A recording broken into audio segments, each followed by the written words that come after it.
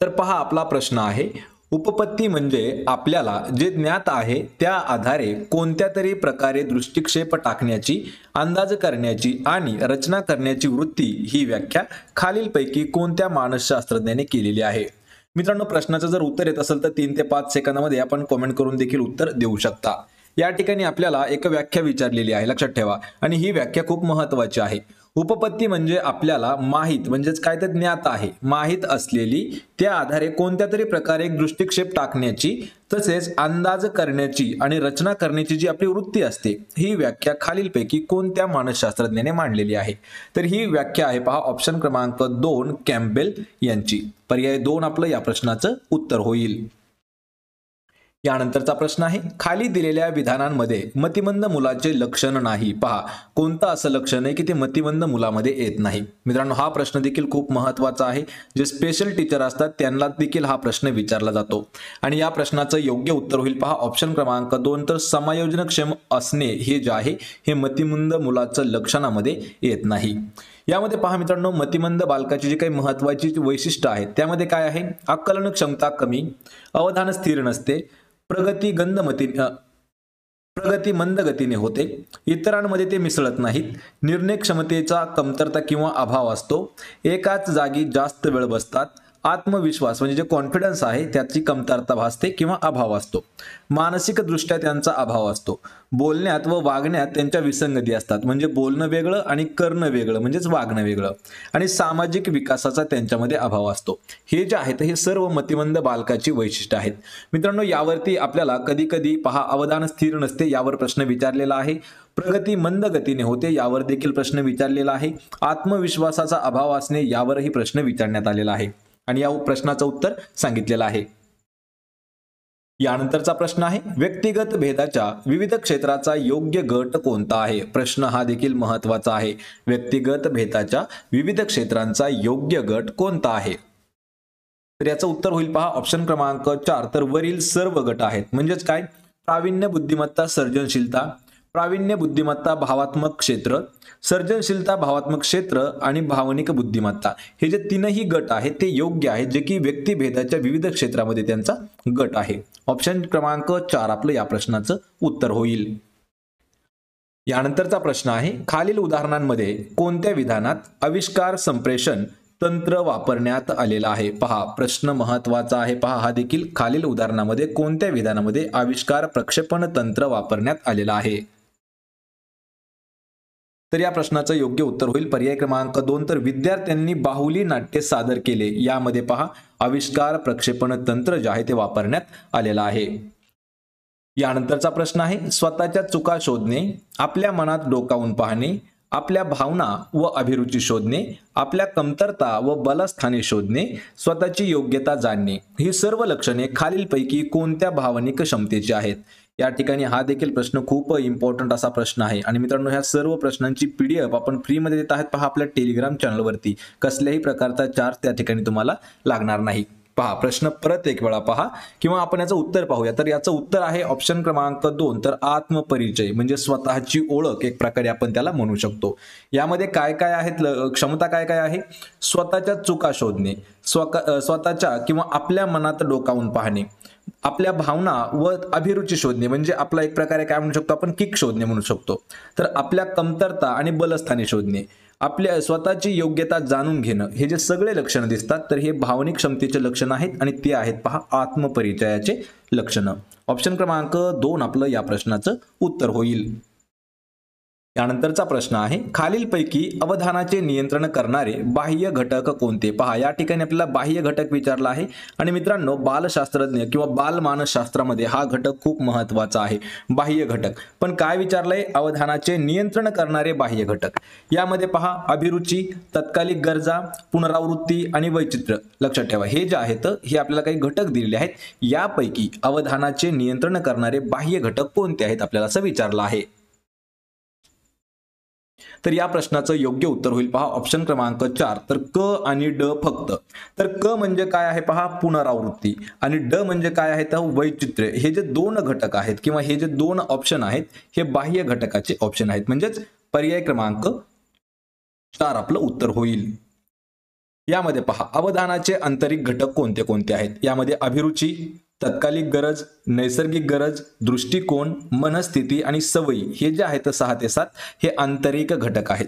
यामध्ये पहा अवधानाचे बाह्य घटक कोणकोणते आहेत? तर पहा उद्दीपिकाचा आधार उद्दीपकाची तीव्रता हालचाल विरोध सजावट नाविन्य परिवर्तन वैचित्र्य आणि पुनरावृत्ती हे जे आहेत हे बाह्य घटक आहेत. आणि मित्रांनो तेच आपल्याला मागच्या विधानामध्ये देखील दोन दिलेले आहेत. पहा वैचित्र्य आणि पुनरावृत्ती हे जे आहेत म्हणजेच ऑप्शन क्रमांक क आणि ड होतं आपलं ऑप्शन क्रमांक चार. यानंतरचा प्रश्न आहे ज्ञानेंद्रियामार्फत ग्रहण केलेला अनुभव जपून ठेवणे म्हणजेच धारणा. याबाबत खालीलपैकी कोणते विधान अयोग्य? पहा योग्य आणि अयोग्य चुकतात पहा. तर अयोग्य म्हणजे की कोणतं विधान चूक आहे? कशासाठी लक्षात ठेवायचंय? ज्ञानेंद्रियांमार्फत ग्रहण केलेला अनुभव जपून ठेवणे म्हणजे धारणा. याबाबत कोणतं विधान अयोग्य आहे?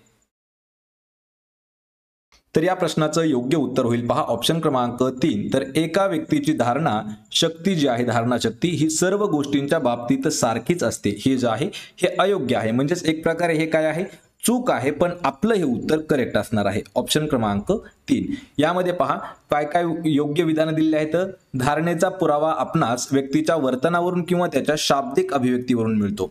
व्यक्ती परत्वे धारणा भिन्न असते आणि धारणा चांगली होण्यासाठी किंवा चांगल्यापणासाठी पठनानंतर विश्रांतीची गरज असते. लक्षात ठेवा त्यातील हे जे आहे हे अयोग्य आहे म्हणजेच आपलं उत्तर करेक्ट आहे. यानंतरचा प्रश्न आहे उजव्या हाताला दिलेल्या सरावामुळे तयार झालेले कौशल्य डाव्या हाताला किती प्रमाणात प्राप्त होते?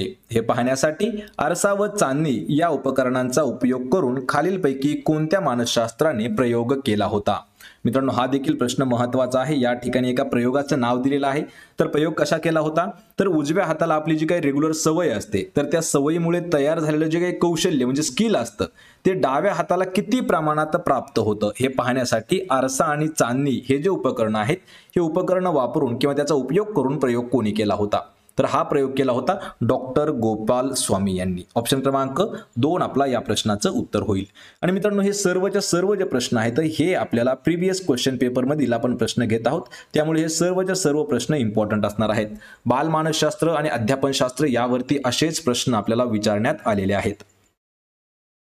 यानंतरचा प्रश्न आहे खालीलपैकी कोणते विधान अध्ययन प्रक्रियेचे ठळक वैशिष्ट्य येत नाही? पहा खालीलपैकी असं कोणतं विधान आहे की जे अध्याप अध्ययन प्रक्रिया आहे त्याचं ठळक वैशिष्ट्य नाही? तर या प्रश्नाचं अचूक उत्तर होईल पहा. ऑप्शन क्रमांक तीन. तर सर्व प्राण्यांचे अध्ययन सारखे असते. हे जे आहे हे ठळक वैशिष्ट्यामध्ये येत नाही. यामध्ये त्याचे अध्ययनाचे अध्ययन प्रक्रियेचे वैशिष्ट्य कोणते कोणते आहेत? अध्ययन हे सहेतुक असते. अध्ययनामुळे नवीन गोष्टींची धारणा होते. दीर्घकाळ सराव नाही केला तर अध्ययनाचे स्मरण राहत नाही. हे जे तीनही पॉईंट आहेत एक दोन आणि चार हे पॉईंट अध्ययन प्रक्रियेचे वैशिष्ट्य आहेत.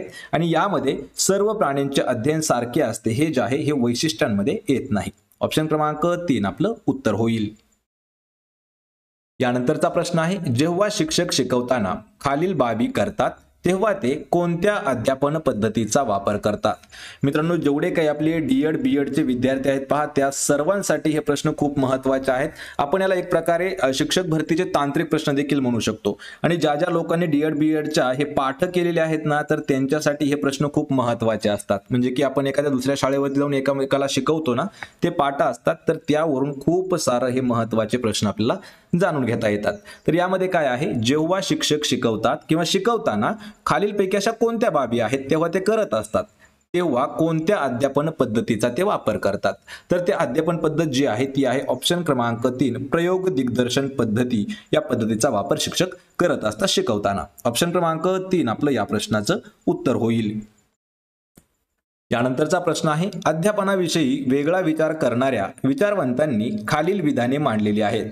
त्यापैकी अयोग्य विधान कोणतं आहे? पहा अयोग्य म्हणजे प्रत्येक ठिकाणी चूक विधान असं आपल्याला शब्द ग्रहित धरायचा आहे मित्रांनो. तर अध्यापनाविषयी वेगळा विचार करणारे जे काही विचारवंत आहेत त्यांनी विविध विधानं देखील खाली मांडलेली आहेत. तर त्यापैकी अयोग्य म्हणजे चुकीचं विधान कोणतं आहे? तर या प्रश्नाचं योग्य उत्तर होईल पहा. ऑप्शन क्रमांक तीन. तर अध्ययनार्थाचा परिणाम शिक्षकांवर होत नाही. हे जे उदाहरण आहे किंवा हे जे विधान आहे हे विधान चुकीचं आहे. म्हणजेच ऑप्शन क्रमांक तीन आपलं या प्रश्नाचं योग्य उत्तर होईल. यामध्ये योग्य असणारे विधाने पहा. शिक्षक अध्ययनार्थी यांच्यातील अंतरक्रिया महत्वाची असते. वर वर्गाध्यापन चालू असताना शिक्षकाचा परिणाम अध्ययनार्थावरती होतो. वर्गाध्यापनामध्ये वातावरण निर्मिती महत्वाची असते. हे जे आहेत एक दोन आणि चार हे योग्य उदाहरण आहेत आणि यामध्ये अयोग्य उदाहरण आहे. पहा अध्यार्थनाचा परिणाम शिक्षकांवरती होत नाही. यानंतरचा प्रश्न आहे खाली दिलेल्या विकासाबद्दल विधानांमध्ये कोणते विधान योग्य आहे? पहा योग्य म्हणजे काय तर या ठिकाणी बरोबर असा आपल्याला शब्द आहे. खाली दिलेल्या विकासांबद्दल विधानांमध्ये कोणतं विधान बरोबर आहे? तर या प्रश्नाचं योग्य उत्तर होईल. पहा ऑप्शन क्रमांक चार. तर व्यक्ती आणि वातावरण यात आंतरक्रिया होऊन विकास घडून येतो. हे जे आहे उदाहरण किंवा हे जे विधान आहे हे करेक्ट विधान आहे. म्हणजेच ऑप्शन क्रमांक चार आपलं या प्रश्नाचं योग्य उत्तर होईल. यानंतरचा प्रश्न आहे विद्यार्थ्यांचे कुसमायोजन झाल्यास खालीलपैकी कोणत्या वर्तनाच्या बाबी आढळून येतात? यामध्ये काही वर्तनाच्या महत्त्वाच्या बाबी दिलेल्या आहेत पहा. परिस्थितीला शरण जाणे मानसिक ताण कमी होणे खोटे समाधान मांडणे आणि दिव्वा स्वप्न पाहणे. हे जे चार महत्त्वाच्या बाबी आहेत यापैकी कोणत्या बाबी आढळून येतात? तर या प्रश्नाचं योग्य उत्तर होईल पहा. ऑप्शन क्रमांक तीन. तर अ क आणि ड हे आपलं उत्तर होईल. अ मध्ये काय आहे? परिस्थितीला शरण जाणे क मध्ये काय आहे? खोटे समाधान मांडणे आणि ड म्हणजे आहे दिवा स्वप्न पाहणे. हे ज्या वर्तनाच्या बाबी आहेत हे आढळून येतात. कधी विद्यार्थ्यांचं ज्या वेळेस कस कुसमायोजन झालेलं असतं. ऑप्शन क्रमांक तीन आपलं या प्रश्नाचं योग्य उत्तर होईल. यानंतरचा प्रश्न आहे अध्यापन परिणामकारक होण्यासाठी खालीलपैकी कोणते तत्वे सहाय्यभूत ठरतात? यामध्ये आपल्याला महत्वाची चार तत्वे दिलेली आहेत किंवा चार आपण उदाहरणं देखील म्हणू शकतो. या ठिकाणी उदाहरण पहा. पहिलं विधान काय आहे? अध्यापन प्रभावी होण्यासाठी उद्दिष्ट अगोदर निश्चित केले जातात. यानंतरचं काय आहे? अध्ययनार्थाच्या उपजत क्षमता विकसित करणे अनावश्यक असते. तिसरं काय आहे? अध्यानार्थाच्या पूर्वज्ञानाची दखल घेऊन नवीन ज्ञानाशी संबंध प्रस्थापित करणे. आणि चौथं विधान आहे अध्ययनार्थाचा दैनंदिन अनुभव अत्यंत महत्त्वाचा असतो. यामध्ये कोणते तत्व असे आहेत की ती सहाय्यभूत तत्वे ठरतात? तर या प्रश्नाचं योग्य उत्तर होईल पहा. ऑप्शन क्रमांक तीन. तर पहा अ क आणि ड. अ क ड म्हणजे काय काय आहेत पहा? अ क आणि ड. तर अ म्हणजे आहे अध्यापन प्रभावी होण्यासाठी उद्दिष्टे अगोदर निश्चित केले जातात. यानंतर काय आहे? क आहे. तर क काय आहे? अध्ययनार्थाच्या पूर्वज्ञानाची दखल घेऊन नवीन ज्ञानाशी संबंध प्रस्थापित करणे. आणि ड म्हणजे काय आहे? तर अध्ययनार्थाचा दैनंदिन अनुभव अत्यंत महत्त्वाचा असतो. म्हणजेच ऑप्शन क्रमांक दोन आपलं या प्रश्नाचं उत्तर होईल. यानंतरचा प्रश्न आहे पहा. खालीलपैकी कोणकोणत्या घटकांचे अध्ययनातून संक्रमण होत असते? पहा अध्ययनातून संक्रमण होते. कोणकोणते असे घटक आहेत? यामध्ये आपल्याला चार घटक दिलेले आहेत. विशिष्ट दृष्टिकोन व बंधुभाव निष्ठा व मूल्य पद्धती व कौशल्य ज्ञान व तंत्र या चार पैकी कोणत्या घटकाचं अध्ययनामधून संक्रमण होत असतं? या प्रश्नाचं उत्तर होईल ऑप्शन क्रमांक चार अ ब क ड म्हणजेच सर्व. अ म्हणजे पहा विशिष्ट दृष्टिकोन व बंधुभाव यानंतर पहा निष्ठा व मूल्य क आहे पद्धती व कौशल्य आणि ड आहे ज्ञान व तंत्र. या सर्व घटकाचं अध्ययनातून संक्रमण होत असतं. ऑप्शन क्रमांक चार आपलं या प्रश्नाचं उत्तर होईल. यानंतरचा प्रश्न आहे अध्ययन उपपत्तीचा सहचार्यवादी उपपत्ती या वर्गात खालीलपैकी कोणत्या उपपत्तींचा समावेश होतो? यामध्ये चार उपपत्ती दिलेल्या आहेत. त्या कोणत्या कोणत्या आहेत? डाईटची सहसंबंध उपपत्ती पॅवलावची अभिजात अभिसंधान उपपत्ती ब्रुनरची ज्ञानात्मक उपपत्ती आणि स्किनरची साधक अभिसंधान उपपत्ती. यापैकी कोणत्या उपपत्तींचा समावेश होतो? तर या प्रश्नाचं उत्तर होईल. ऑप्शन क्रमांक दोन अ ब आणि ड फक्त ह्या ज्या उपपत्त्या आहेत या म्हणजे अ मध्ये कोणता आहे पहा? थॉर्नडाईकची सहसंबंध उपपत्ती ब म्हणजे पॅवलावची अभिजात अभिसंधान उपपत्ती आणि ड म्हणजे स्किनरची साधक अभिसंधान उपपत्ती. यांचा समावेश होत असतो. ऑप्शन क्रमांक दोन आपलं या प्रश्नाचं उत्तर होईल. यानंतरचा प्रश्न आहे आपण पाहिलेला एखादा क्रिकेटचा सामना मनपटलावर जशास तसा तयार होतो किंवा लक्षात ठेवा तयार होतो. या ठिकाणी साखर झालाय.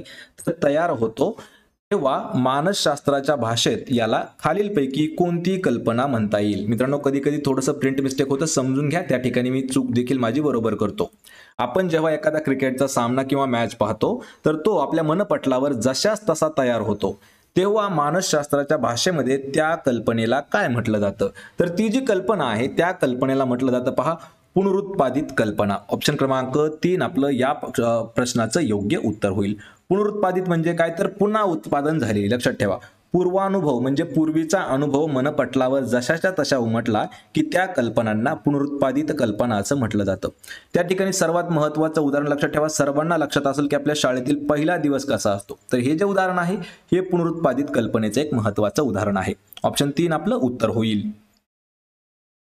यानंतरचा प्रश्न आहे खाली दिलेल्या अध्ययन अकार्यक्षम मुलांच्या लक्षणांमध्ये कोणते लक्षण योग्य आहे? पहा कोणते लक्षण योग्य आहे असं आपलं विचारलेलं आहे. आणि या प्रश्नाचं योग्य उत्तर काय असणार आहे? ऑप्शन क्रमांक तीन. तर ही मुलं नेमून दिलेलं जे काम आहे ते पूर्ण करण्याकडे लक्ष देत नाहीत. हे त्यांच्यातलं लक्षण आहे. कशामध्ये? अकार्यक्षम मुलांच्या लक्षणामधील हे महत्वाचं एक लक्षण आहे. यामध्ये मित्रांनो पहा अध्ययन अकार्यक्षम बालकांची काही महत्वाची लक्षणं असतात. म्हणजे की ते अध्ययन करण्यासाठी कार्यक्षम नसतात अशी काही बालकं असतात. त्यामध्ये आढळणारे जे सिमटम्स आहेत ते कोणते कोणते आहेत? लहान मुलांसारखे ते बोलत असतात. अतिशय लाजाळू वृत्तीचे असतात. ऐकण्यामध्ये एकाग्रतेचा अभाव असतो. स्मरणशक्ती त्यांना कमी असते. चिडखोर असतात रागीट वृत्तीचे असतात. बदल मान्य करायला ते घाबरतात. म्हणजे बदल मान्य करत नाहीत. चेंजेस त्यांना नको वाटतात कोणत्याही प्रकारचे. यानंतर वाचन आणि लिखाण यामध्ये खूप साऱ्या त्या चुका करतात. ही मुलं योग्य व आवश्यक गोष्टीमध्ये रमत नाहीत. लक्षात ठेवा हे जे आहेत हे अध्ययन अकार्यक्षम बालकांची महत्वाची लक्षणं आहेत. या ठिकाणचं आपण उत्तर पाहिलेलं आहे. यानंतरचा प्रश्न आहे थर्स्टन यांच्या बुद्धिमत्तेच्या अनेक घटक सिद्धांतावर घेतलेल्या आक्षेपांपैकी खालीलपैकी कोणते आक्षेप बरोबर आहेत? यामध्ये तीन आक्षेप आहेत. पहा त्यामधील पहिला आहे थर्स्टनने सांगितलेल्या प्राथमिक मानसिक क्षमता पूर्णपणे स्वातंत्र्य नाहीत. कसोट्यांमध्ये सहसंबंध असल्याचे आढळून आले आणि मानसिक क्षमता परस्परांपासून वेगळ्या नाहीत. या तीन पैकी कोणता आक्षेप जो आहे तो बरोबर आहे. तर या प्रश्नाचं योग्य उत्तर होईल. ऑप्शन क्रमांक दोन अ आणि क फक्त. तर अ मध्ये काय आहे? तर थर्स्टनने सांगितलेल्या प्राथमिक मानसिक क्षमता पूर्णपणे स्वातंत्र्य नाहीत. हे एक अक्ष बरोबर आहे. आणि यानंतर क म्हणजे काय आहे? तर मानसिक क्षमता परस्परापासून वेगळ्या नाहीत हा देखील आक्षेप त्यांचा बरोबर आहे. पर्याय क्रमांक दोन आपलं या प्रश्नाचं योग्य उत्तर होईल. तर मित्रांनो यामध्ये पहा थर्स्टन यांनी संशोधनात सात घटक मांडलेले आहेत. या घटकांना प्राथमिक मानसिक क्षमता असं त्यांनी म्हटलेलं आहे. त्यांनी स्पेअरमॅन आणि थॉर्नडाईक यांच्या मांडलेली बुद्धीचे जे सिद्धांत आहेत त्या प्रत्येक सिद्धांताला त्यांनी विरोध केला आहे. कोणी? थर्स्टन यांनी. तर यामध्ये त्यांच्या क्षमता कशामध्ये आहेत? पहा. संख्याविषयक क्षमता भाषिक क्षमता शाब्दिक ओगावत यानंतर स्मृती तर्क करण्याची क्षमता अवबोध करण्याची क्षमता अवकाश विषयक क्षमता ह्या ज्या आहेत ह्या क्षमता त्यांनी सांगितलेल्या आहेत. आणि या प्रश्नाचं उत्तर काय आहे? आपल्याला हे कमेंट करून सांगितलेलं या प्रश्नाचं उत्तर आपण सांगितलेलं आहे.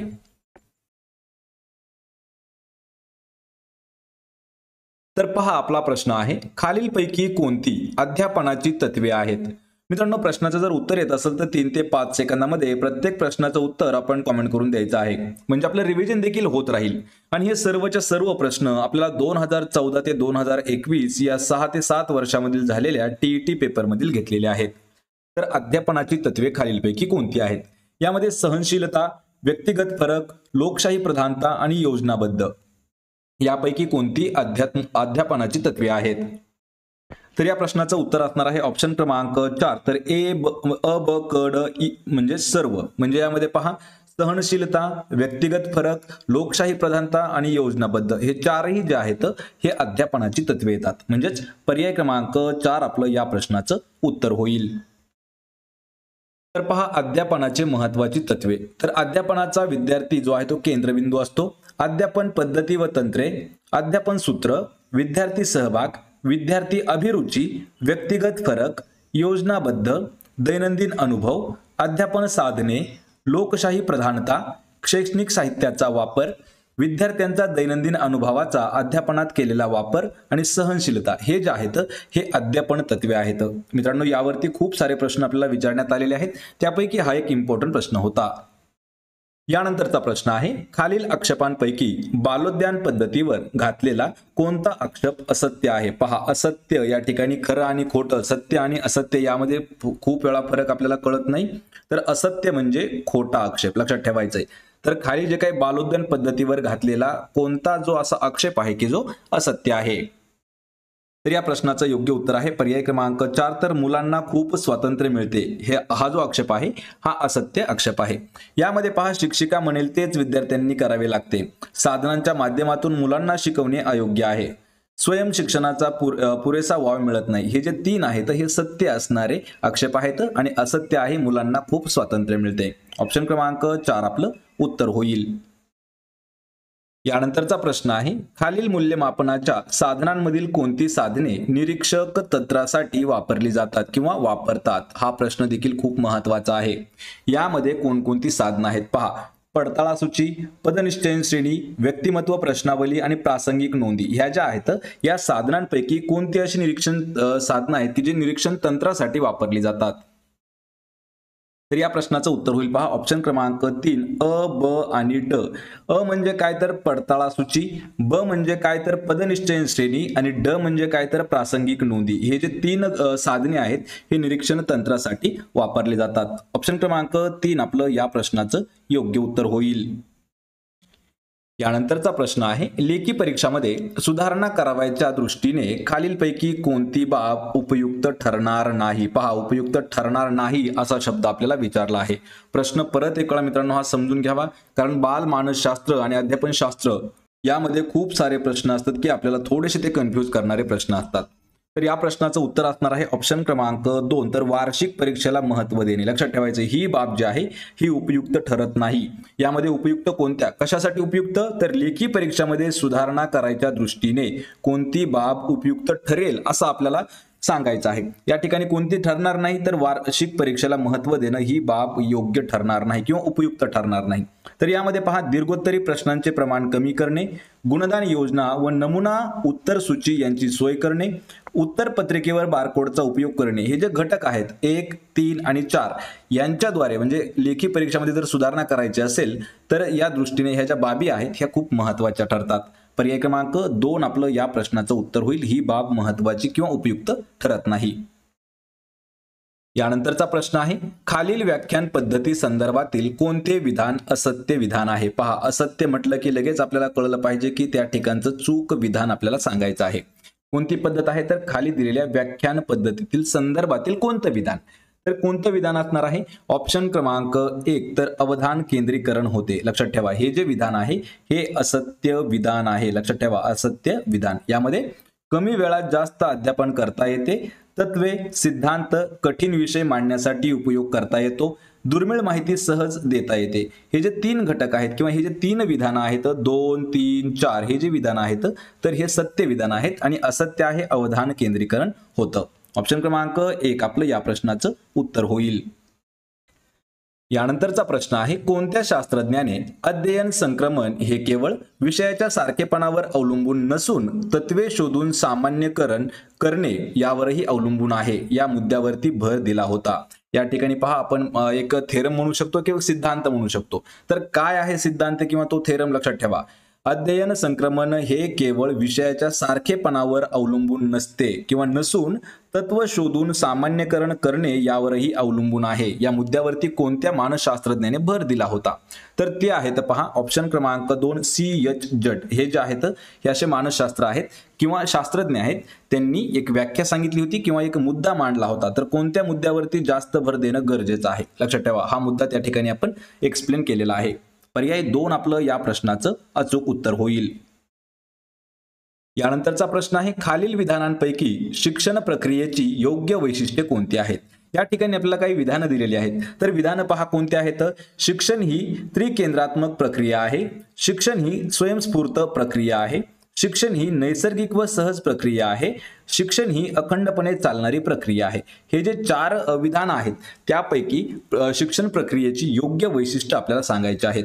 आणि मित्रांनो अशाच पद्धतीचे हे आपला जवळपास आठवा व्हिडिओ आहे पहा बालस्मान बालमानसशास्त्र आणि अध्यापनावरचा. यापूर्वीच्या सगळ्या व्हिडिओच्या लिंक मी तुम्हाला डिस्क्रिप्शनमध्ये देत आहे त्या ठिकाणी जाऊन पहा.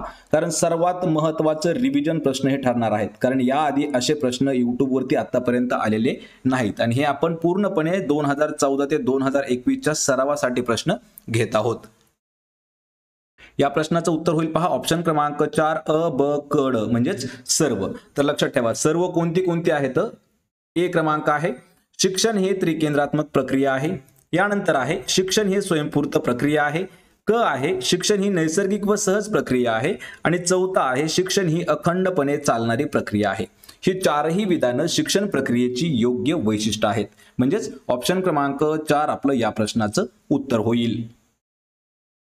तर पहा शिक्षण प्रक्रियेचे वैशिष्ट्य कोणकोणते आहेत? कारण मित्रांनो आपण प्रत्येक ठिकाणी नोट देखील देत आहोत. तर यापणे पहा शिक्षण ही अखंडपणे नैसर्गिक व सहज त्रिकेंद्रात्मक मानसिक सामाजिक औपचारिक अनौपचारिक आणि स्वयंपूर्त असणारी प्रक्रिया आहे. लक्षात ठेवायचे हे पॉइंट खूप महत्त्वाचे आहेत.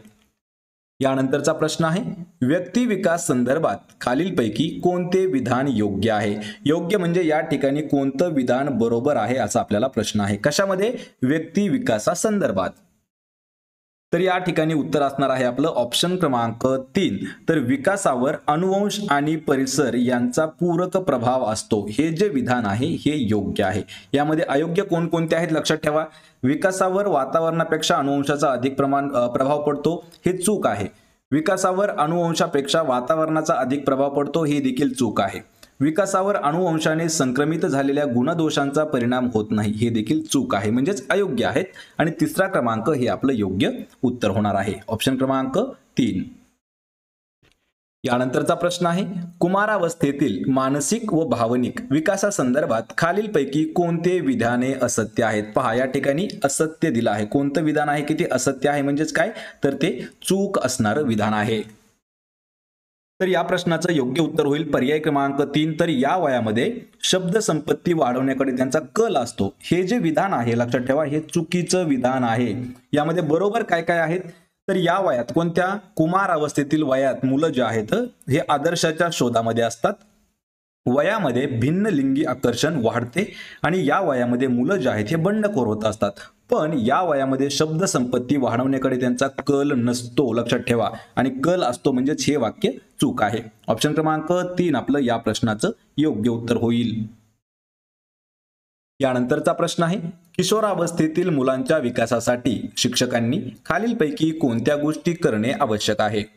या ठिकाणी आपल्याला काही महत्त्वाच्या गोष्टी दिलेल्या आहेत की ज्या शिक्षकांनी करणे गरजेचं आहे. तर त्यापैकी कोणकोणत्या गोष्टी करणं हे आवश्यक आहे? कशामध्ये पहा? किशोर अवस्थेतील मुलांच्या विकासासाठी. तर यामध्ये पहा अक्षरांना योग्य वळण लावावे बिनचूक शुद्ध उच्चारासहित पाठांतर करणे गट न करता वैयक्तिक कामाची जबाबदारी देणे आणि मुलांच्या सर्जनशीलता वाढीसाठी उपक्रम राबवले राबवणे. यामधील कोणत्या गोष्टी करणं हे आवश्यक आहे? तर या प्रश्नाचं उत्तर होईल. पहा पर्याय क्रमांक दोन. तर अ ब आणि ड. अ म्हणजे काय? तर अक्षरांना योग्य वळण लावणे. ब म्हणजे काय आहे? तर बिनचूक शुद्ध उच्चारांसहित पाठांतर करणे. आणि ड म्हणजे तर मुलांच्या सर्जनशीलता वाढीसाठी उपक्रम राबवणे. हे जे तीन घटक आहेत किंवा ह्या ज्या तीन गोष्टी आहेत ह्या किशोर अवस्थेतील मुलांच्या विकासासाठी शिक्षकांनी करणं गरजेचं आहे. पर्याय क्रमांक दोन आपलं या प्रश्नाचं अचूक उत्तर होईल. यानंतरचा प्रश्न आहे खालीलपैकी कोणते उदाहरण मूर्ताकडून अमूर्ताकडे या अध्यापन सूत्रावर आधारित ठेवण्यात आलेलं आहे? पहा खालीलपैकी असं कोणतं उदाहरण आहे की जे उदाहरण आपल्याला मूर्ताकडून अमूर्ताकडे अध्यापन सूत्रावरती आधारित आहेत? यामध्ये लक्षात ठेवायचे उदाहरणं पाहून घ्या. तर भूगोल विषयात नकाशाचा वापर करणे विद्यार्थ्यांना थोर नेत्याची चरित्रे सांगणे निसर्ग चित्र शिकवताना चित्र दाखवणे आणि कवितेचं स्पष्टीकरण करणे. आणि या प्रश्नाचं योग्य उत्तर असणार आहे. पहा ऑप्शन क्रमांक एक. तर अ ब आणि क. अ म्हणजे काय? तर भूगोल विषयात नकाशाचा वापर करणं. हे देखील अध्यापन सूत्रावरती आधारित असलेलं एक उदाहरण आहे. यामध्ये ब काय आहे? तर विद्यार्थ्यांना थोर नेत्यांची चरित्र देखील सांगणं. आणि क कोणतं आहे? तर निसर्ग चित्र शिकवताना चित्र दाखवणं. हे आपलं उत्तर असणार आहे. पर्याय क्रमांक एक योग्य उत्तर होईल.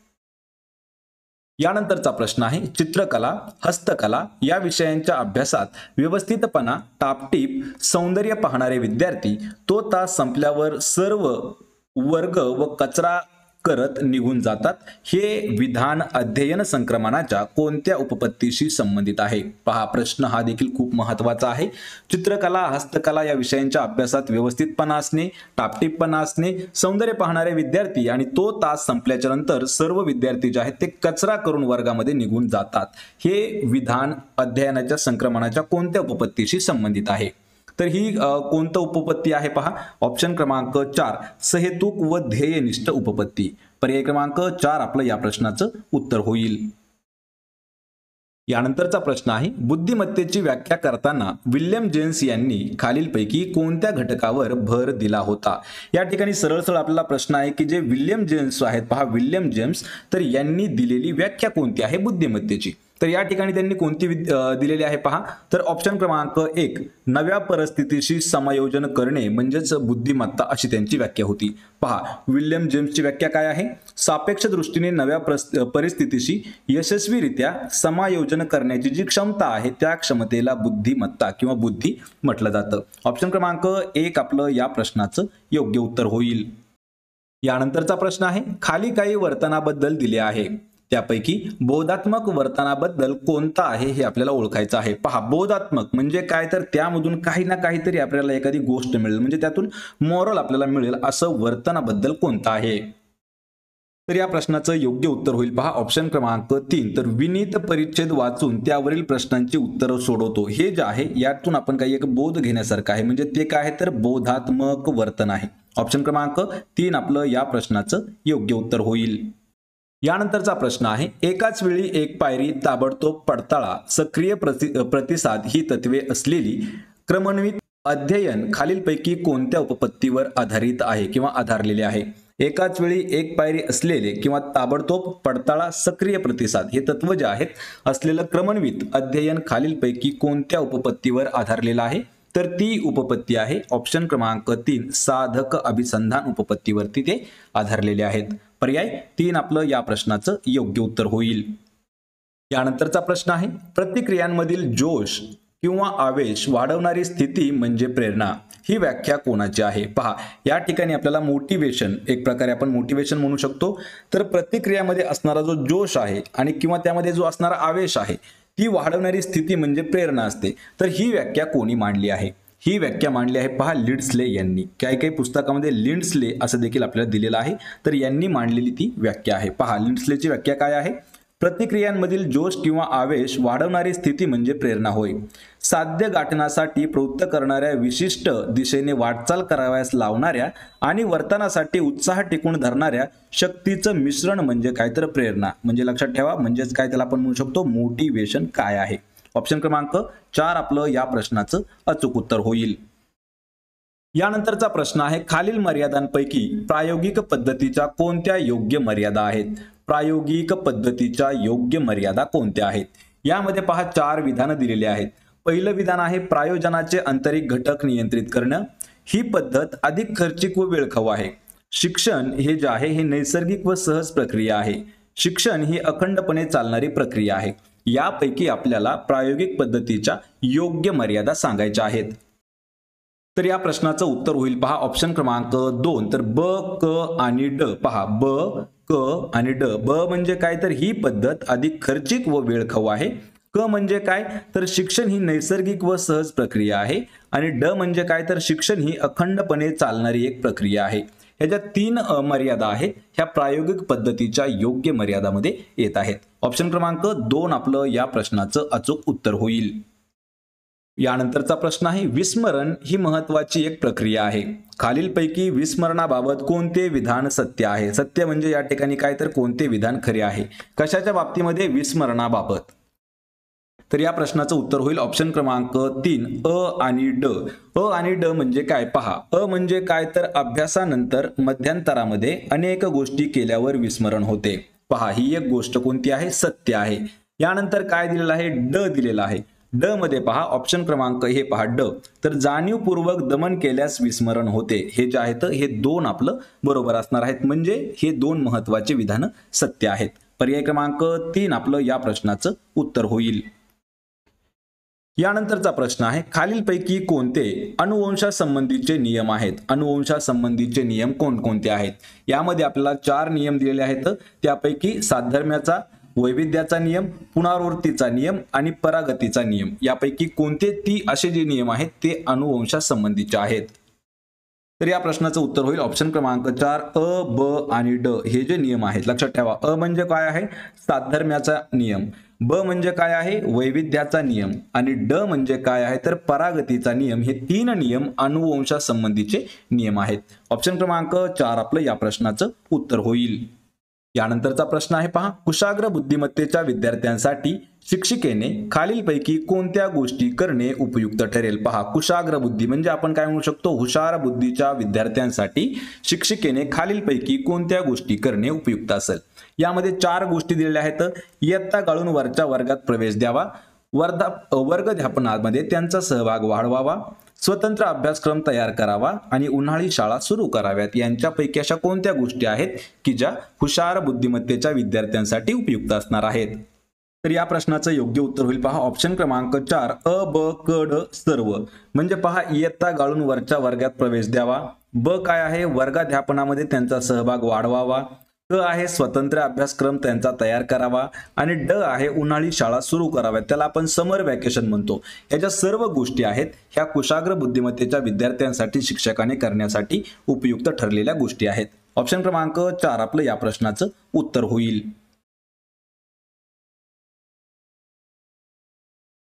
तर पहा आपला प्रश्न आहे. खाली दिलेल्या विधानांपैकी अवधानाबाबत कोणते विधान असत्य आहे? पहा असत्य म्हणजे काय? तर कोणतं विधान चूक आहे असा आपला प्रश्न आहे. तर या ठिकाणी या प्रश्नाचं योग्य उत्तर असणार आहे. ऑप्शन क्रमांक तीन. तर एका वेळी एकापेक्षा अधिक गोष्टींवर अवधान केंद्रित करता येते. ही जी बाब आहे ही असत्य असणारी एक बाब आहे. लक्षात ठेवा मित्रांनो. आणि प्रश्नाचं जर उत्तर येत असेल आपल्याला तर प्रश्नाचं उत्तर सुद्धा आपण तीन ते पाच सेकंदामध्ये देण्याचा प्रयत्न करायचा आहे. या ठिकाणी पहा अवधानाचे प्रमुख तीन प्रकार आहेत. यामध्ये अनैच्छिक अवधान ऐच्छिक अवधान आणि अभ्यस्त अवधान हे तीन त्याचे प्रकार आहेत. ऑप्शन क्रमांक तीन आपलं या प्रश्नाचं उत्तर होईल. यानंतरचा प्रश्न आहे पहा नॉर्मन इजी यांनी सांगितलेल्या प्रभुत्व संपादन उपपत्तीचे खालीलपैकी कोणते वैशिष्ट्य नाही? पहा नॉर्मन इजी यांनी सांगितलेला जो प्रभुत्व संपादन उपपत्ती आहे त्याचं खालीलपैकी कोणतं वैशिष्ट्य नाही? तर या प्रश्नाचं योग्य उत्तर असणार आहे. ऑप्शन क्रमांक दोन. तर उद्दिष्टे उतरत्या क्रमाने अध्ययन निष्पत्तीसह स्पष्टपणे मांडणे. हे जे आहे हे त्यांच्या उद्दिष्टामध्ये येत नाही. तर नॉर्मन इजी यांनी सांगितलेला जो प्रभुत्व संपादन उपपत्ती आहे त्याचे वैशिष्ट्य कोणकोणते आहेत पहा. तर उद्दिष्ट विधानात्मक व कार्यात्मक रीतीने मांडायची. ताबडतोब प्राप्त होणारी उद्दिष्ट स्पष्ट करणे लहानात लहान घटक तयार करणे ही त्यांची उद्दिष्ट होते. आणि कोणतं उद्दिष्ट नव्हतं? तर उतरत्या क्रमाने अध्ययन निष्पत्तीसह स्पष्टपणे मांडणे हे त्यांचं उद्दिष्ट नव्हतं. म्हणजेच पर्याय क्रमांक दोन आपलं या प्रश्नाचं उत्तर होईल. यानंतरचा प्रश्न आहे अभ्यासक्रम नियोजन सूचना व कृती आणि मूल्यमापन या चार टप्प्यातून केली जाणारी कृती म्हणजे अध्यापन. असे मत खालीलपैकी कोणत्या शिक्षक तज्ज्ञांनी मांडले होते? या ठिकाणी मित्रांनो आपल्याला एक व्याख्या विचारलेली आहे. पहा व्याख्या कोणती आहे? परत एक वेळा पहा. तर अभ्यासक्रम नियोजन सूचना कृती व मूल्यमापन. या चार टप्प्यातून केली जाणारी जी कृती आहे तिला अध्यापन असं म्हणतात. ही व्याख्या कोणी मांडली? तर ही व्याख्या मांडलेली आहे ऑप्शन क्रमांक दोन तर डॉक्टर डंकन यांनी. पहा शेपलर याची जी व्याख्या आहे तर शेपलरची व्याख्या काय होती? विद्यार्थ्यांचे अध्ययन व्हावे या उद्देशाने अध्यापकाने केलेली जी कृती आहे तिला अध्यापन असं म्हणतात. या ठिकाणी पहा हेनरी मॉरिन्सन हेनरी यांची काय व्याख्या होती? तर अध्यापन म्हणजे अधिक परिपक्व व कमी परिपक्व व्यक्तींमधील जवळचा संबंध म्हणजे अध्यापन. या ठिकाणी स्मिथ जे आहे तर त्यांनी कोणती व्याख्या मांडली होती? तर अध्ययन घडवण्यासाठी केलेली कृतीची पद्धत म्हणजे अध्यापन होय. आणि दिलेली जी आपल्याला व्याख्या आहे अभ्यासक्रम नियोजन सूचना व कृती आणि मूल्यमापन या चार टप्प्यातून केली जाणारी कृती म्हणजे अध्यापन ही डंकन यांची व्याख्या होती. पर्याय क्रमांक दोन आपलं या प्रश्नाचं उत्तर होईल. यानंतरचा प्रश्न आहे खाली दिलेल्या विधानापैकी कोणते विधान प्रेरणेचे वैशिष्ट्य नाही? पहा प्रेरणेचे वैशिष्ट्य कोणतं विधान नाही? तर या प्रश्नाचं योग्य उत्तर असणार आहे. ऑप्शन क्रमांक एक. तर प्रेरणेमुळे शारीरिक व मानसिक असमतोल निर्माण होतो. हे जे आहे हे प्रेरणेचं वैशिष्ट्यामध्ये येत नाही. यामध्ये वैशिष्ट्य लक्षात ठेवायचे. वैशिष्ट्य कोणती कोणती आहेत? वर्तन पूर्ण होईपर्यंत प्रेरणा कार्यरत असते. मानवी वर्तनाला दिशा देण्याचे सामर्थ्य हे प्रेरणेमध्ये आहे आणि प्रेरणेमुळे विशिष्ट गोष्टीची आवड निर्माण होते किंवा गोष्टीची निवड होते. ही जी आहे तर ही त्याची वैशिष्ट्य आहेत. ऑप्शन क्रमांक एक आपलं या प्रश्नाचं उत्तर काय होईल? तर प्रेरणेमुळे शारीरिक व मानसिक असमतोल निर्माण होतो. हे जे आहे हे त्याचं वैशिष्ट्य नाही. म्हणजेच पर्याय क्रमांक एक. तर पहा प्रेरणा म्हणजे पहा वर्तनाला दिशा देणे म्हणजे प्रेरणा होय. आणि याचे वैशिष्ट्य लक्षात ठेवायचे तर मानवी वर्तनाला दिशा देण्याचे सामर्थ्य हे प्रेरणेमध्ये आहे. प्रेरणेमुळे विशिष्ट गोष्टीची आवड निर्माण होते. प्रेरणेत सातत्य असते वर्तन पूर्ण होईल तोपर्यंत प्रेरणा कार्यरत असते. प्रेरणेमुळे शारीरिक व मानसिक असमतोल साधला जातो. पर्याय या ठिकाणी उत्तर आपलं सांगितलेलं आहे. यानंतरचा प्रश्न आहे खालीलपैकी कोणते उदाहरण हे शिक्षक प्रधान अध्यापन पद्धतीचे उदाहरण आहे. पहा शिक्षक प्रधान अध्यापन पद्धत जी आहे त्याचं उदाहरण कोणतं आहे? तर या प्रश्नाचं उत्तर होईल. पहा ऑप्शन क्रमांक तीन. तर शर्मा सरांनी भूकंप या विषयावर भाषण दिले. लक्षात ठेवा. यामध्ये जी अध्यापन पद्धती आहे त्यामध्ये शिक्षक प्रधानामध्ये पहा व्याख्यान पद्धती. म्हणजे या ठिकाणी त्यांनी भाषण दिलं म्हणजे काय? तर एक प्रकारे व्याख्यान दिलं. म्हणजेच ते काय उदाहरण झालं? शिक्षक प्रधान अध्यापनाचं. पहा अध्यापनाच्या पद्धती यामध्ये पहिलं काय आहे? शिक्षक प्रधान. यामध्ये कोणत्या कोणत्या पद्धती येतात? तर व्याख्यान पद्धती आणि कथन पद्धती. यामध्ये दुसरी कोणती आहे? तर विद्यार्थी प्रधान. तर यामध्ये चर्चा पद्धती असते स्वयं अध्ययन पद्धती असते आणि पर्यवेक्षित पद्धती असते. लक्षात ठेवा. पर्याय क्रमांक तीन हे जे उदाहरण आहे हे शिक्षक प्रधान अध्यापन पद्धतीचं उदाहरण आहे. यानंतरचा प्रश्न आहे बाह्य जगाचे ज्ञान मिळवणारी अवबोध ही मूलभूत मानसिक प्रक्रिया आहे.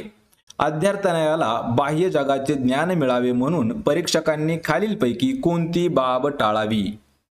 तर या प्रश्नाचं योग्य उत्तर असणार आहे. पहा ऑप्शन क्रमांक तीन. तर आकृती व पार्श्वभूमीला महत्त्व देऊ नये हे आपलं योग्य उत्तर असणार आहे. ऑप्शन क्रमांक तीन. तर पहा यानंतरचा प्रश्न आहे. अध्ययन उपपत्तीच्या ज्ञानात्मक अध्ययन उपपत्ती या वर्गात खालीलपैकी कोणत्या उपपत्तींचा समावेश होत नाही? पहा समावेश होत नाही असा प्रश्न आहे. खूप विद्यार्थी आपले कन्फ्यूज होऊन जातील. प्रश्न परत एक वेळा सांगतो ऐका.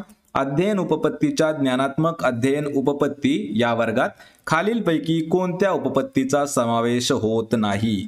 तर यामध्ये जी उपपत्ती आहे तिचा समावेश केला जात नाही तर ती आहे ऑप्शन क्रमांक चार. स्किनरची साधक अभिसंधान उपपत्ती जी आहे याचा समावेश केला जात नाही. म्हणजेच ऑप्शन क्रमांक चार आपलं उत्तर होईल. यानंतरचा प्रश्न आहे अध्ययन या संज्ञेस खालीलपैकी कोणते विधान लागू पडत नाही? पहा लागू पडत नाही असं विधान कोणतं आहे? अध्ययनाच्या संज्ञेला. तर या प्रश्नाचं योग्य उत्तर असणार आहे. पहा ऑप्शन क्रमांक दोन. तर नैसर्गिकपणे होणारे बदल यामध्ये समाविष्ट नसतात. म्हणजे हे जे विधान आहे हे लागू पडत नाही. कशामध्ये? अध्ययन याच्या संज्ञेला. पर्याय क्रमांक दोन आपलं या प्रश्नाचं अचूक उत्तर होईल. तर पहा अध्ययन प्रक्रियेची काही महत्वाची जी वैशिष्ट्ये आहेत ती आपण जाणून घेऊया. अध्ययन हे सहेतुक असतं उद्दिष्टाशिवाय अध्ययन जे आहे ते संभवत नाही. आणि अध्ययन हे नेमके कृतीद्वारा घडत असते. अध्ययन ही आजन्म चालणारी एक प्रक्रिया आहे. अध्ययनामुळे नवीन गोष्टींची धारणा निर्माण होते. मित्रांनो या ठिकाणी आपण कोमा द्यायचं विसरलो आहेत. आणि हे जे आहे हे एक एक स्टेप वाईज घेत आहोत. तर पहा अध्ययन ही हळूहळू चालणारी प्रक्रिया आहे. सर्व प्राण्यांचे अध्ययन एकसारखे नसते. प्रत्येक प्राणी जगण्यासाठी अध्ययन करत असतात. अध्ययनामुळे आकलन होते. हे जे आहेत ही अध्ययन प्रक्रियेची महत्वाची असणारे उद्दिष्टे आहेत. ऑप्शन क्रमांक उत्तर दिलेला आहे. यानंतरचा प्रश्न आहे खालीलपैकी कोणत्या व्याख्या समायोजनाच्या आहेत? पहा खालीलपैकी कोणत्या अशा व्याख्या आहेत की त्या समायोजनाच्या व्याख्या आहेत? तर या प्रश्नाचं योग्य उत्तर होईल. ऑप्शन क्रमांक चार. तर अ ब क सर्व ह्या ज्या व्याख्या आहेत ह्या समायोजनाच्या व्याख्या आहेत. तर पहा व्याख्या ऐकून घ्या. पहिली कोणती आहे? परिस्थितीला तोंड देण्यासाठी अधिक संरक्षात्मक पवित्रा घेणे म्हणजेच समायोजनाची व्याख्या आहे. दुसरी कोणती आहे? व्यक्तिगत आवडीनिवडी गरजा तसेच सामाजिक घटक यांना अनुसरून योग्य त्या समाजमान्य प्रक्रिया देणे किंवा प्रतिक्रिया देणे. आणि तिसरी कोणती आहे? परिस्थितीचा विचार करून अनुरूप संबंध प्रस्थापित करणे. या तिन्ही ज्या व्याख्या आहेत हे समायोजनाच्या योग्य व्याख्या आहेत. ऑप्शन क्रमांक चार आपलं उत्तर होईल.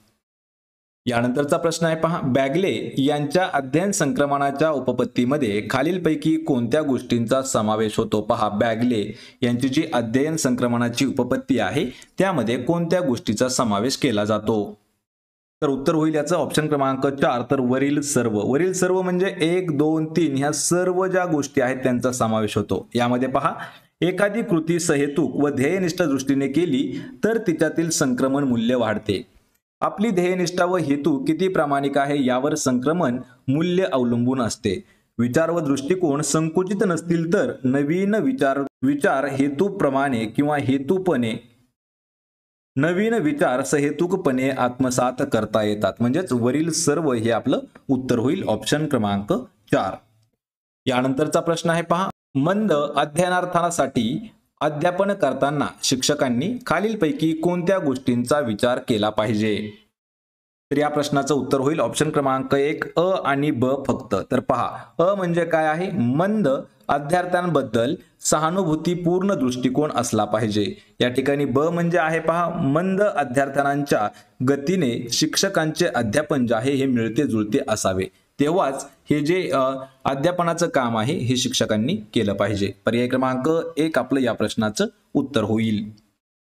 तर पहा शिक्षकांनी खालील गोष्टींचा विचार करणे हे गरजेचं आहे. सहानुभूतीपूर्वक दृष्टिकोन बाळगावा त्यांच्या अडचणी व समस्या जाणून घ्याव्यात प्रश्नांची उत्तरं देण्यासाठी त्यांना प्रोत्साहन द्यावे अध्ययनासाठी सतत उत्तेजन द्यावे चांगल्या कामाबद्दल त्यांची स्तुती करावी कृतीद्वारा व प्रयोगाद्वारे शिक्षण द्यावे विचारात घेऊन अध्यापन करावे आणि अभिरुची निर्माण करणारे त्यांना गृहपाठ द्यावे. या गोष्टींचा जो विचार आहे तो शिक्षकांनी केला पाहिजे ज्यावेळी मंद विद्यार्थ्यांना ते शिकवत असतात.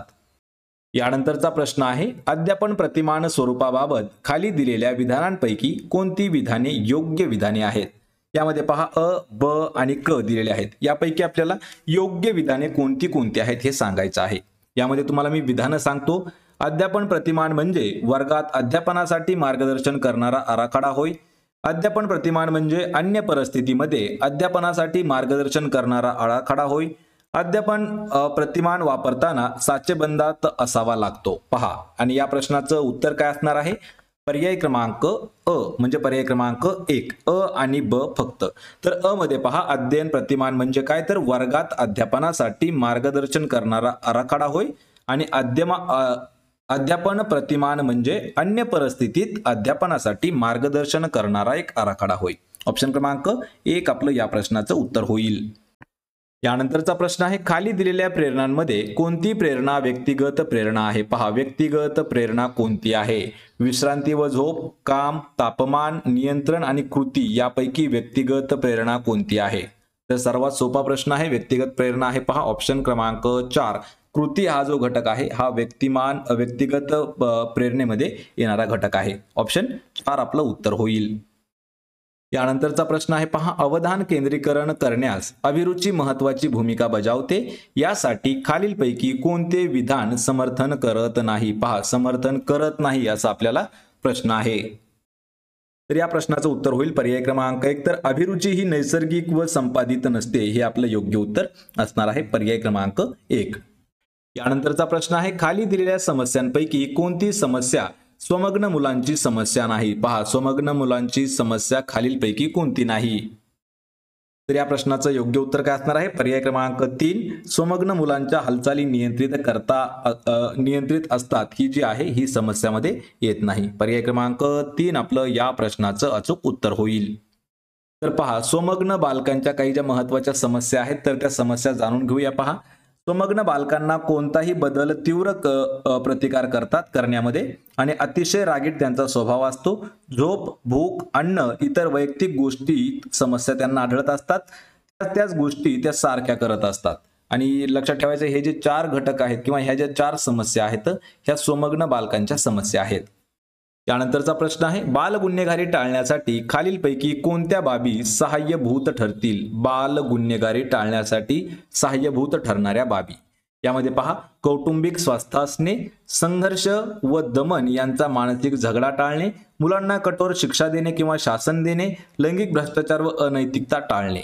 यापैकी कोणत्या बाबी ज्या आहेत ह्या बाल गुन्हेगारी टाळण्यासाठी केल्या जाऊ शकतात? तर या प्रश्नाचं योग्य उत्तर होईल. पर्याय क्रमांक दोन. तर अ ब आणि ड. अ म्हणजे काय आहे? कौटुंबिक स्वास्थ्य असणे. ब म्हणजे आहे संघर्ष व दमन यांचा मानसिक झगडा टाळणे.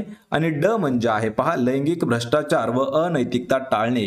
या ज्या तीन बाबी आहेत ह्या सहाय्यभूत ठरू शकतात बाल गुन्हेगारी टाळण्यासाठी. पर्याय क्रमांक दोन आपलं या प्रश्नाचं योग्य उत्तर होईल.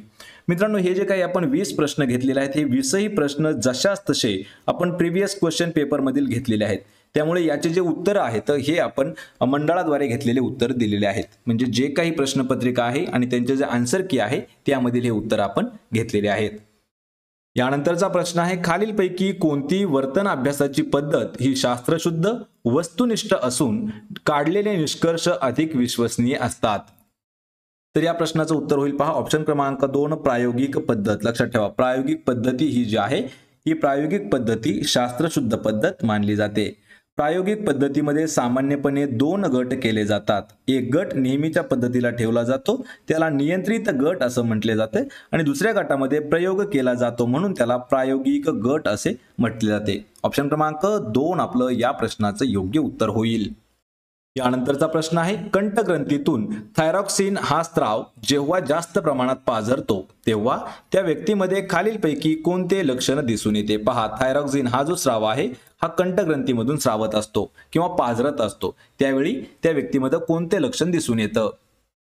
तर या प्रश्नाचं योग्य उत्तर होईल. पर्याय क्रमांक दोन तर त्या ज्या व्यक्ती आहेत त्या अस्थिर असतात. पहा म्हणजे त्या अनस्टेबल असणाऱ्या व्यक्ती असतात. पहा अनस्टेबल व्यक्ती. कधी होतात? ज्यावेळी आपल्या कंठग्रंथीमधून थायरॉक्सिन हा जो स्रव आहे तो जास्त प्रमाणामध्ये पाझरतो. पर्याय क्रमांक दोन आपलं या प्रश्नाचं योग्य उत्तर होईल. यानंतरचा प्रश्न आहे पहा समस्येचे विश्लेषण करून ती सोडवण्याची योजना तयार करणे म्हणजे विचार प्रक्रिया होय. याकरिता खालीलपैकी कोणती बाब लागू पडत नाही? मित्रांनो हा प्रश्न खूप महत्त्वाचा आहे पहा.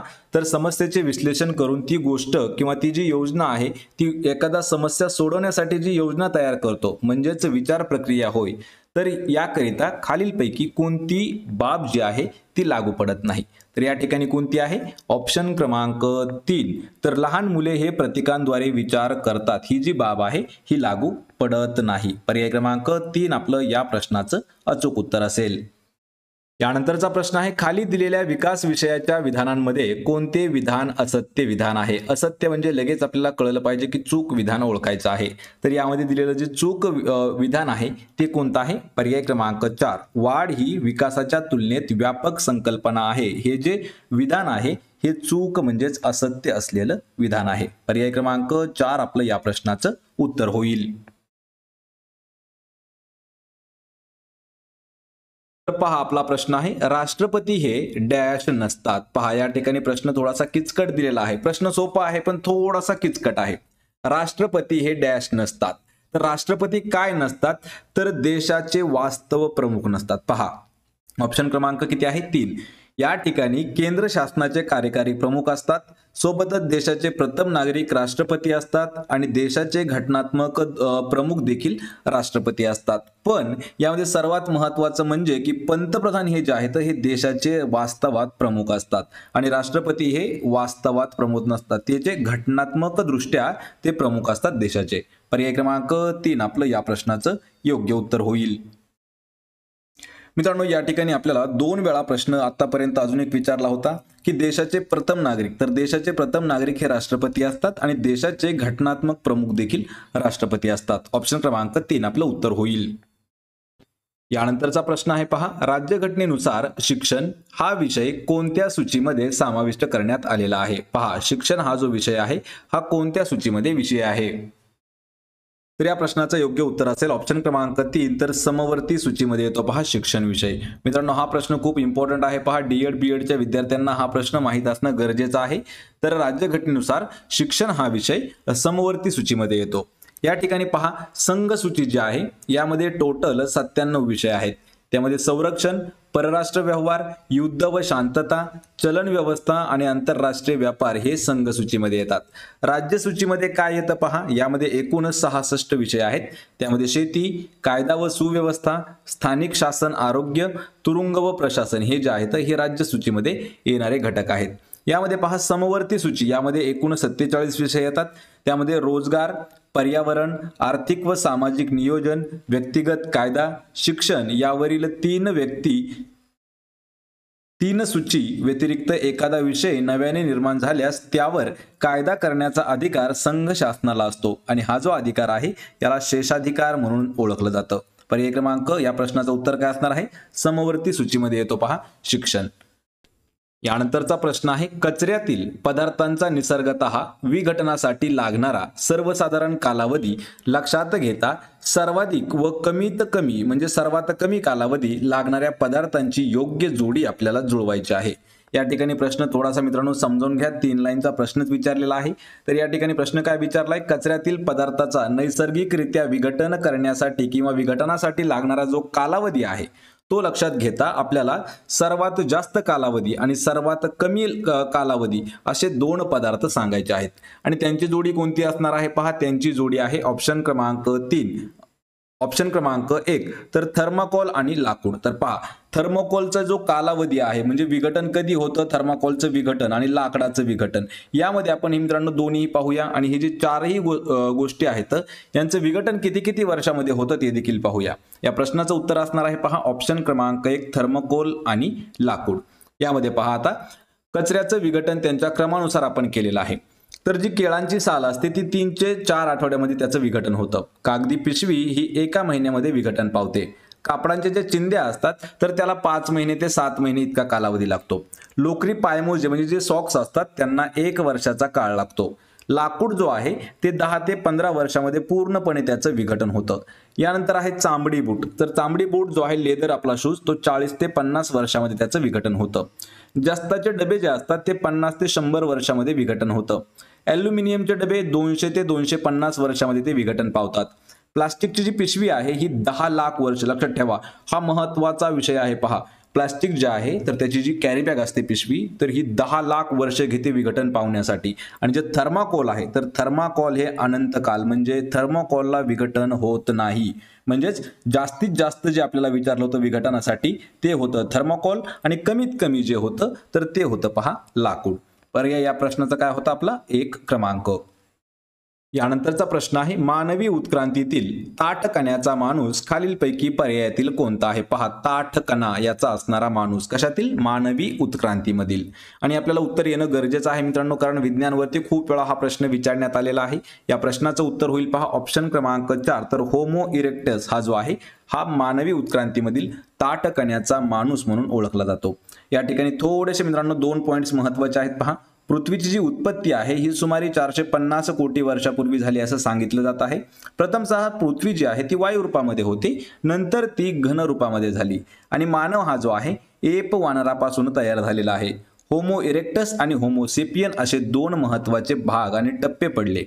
होमो म्हणजे काय तर माणूस आणि इरेक्टस म्हणजे काय तर ताटकण्याचा. म्हणजेच होमो इरेक्टस म्हणजे काय तर ताटकण्याचा माणूस आणि हो होमोसेपियन म्हणजे काय तर बुद्धिमान माणूस. या प्रश्नाचं उत्तर काय असेल आपल्या? पर्याय क्रमांक चार.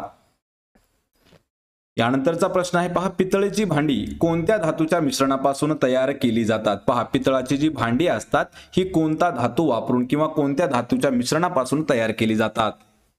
याचं उत्तर होईल पहा. पर्याय क्रमांक एक तर जस्त आणि तांबे या दोघांनाही मिळून जे आहे ते पितळ बनवलं जातं. पहा काय काय आहे? जस्त आणि तांबे. पर्याय एक आपलं या प्रश्नाचं उत्तर होईल.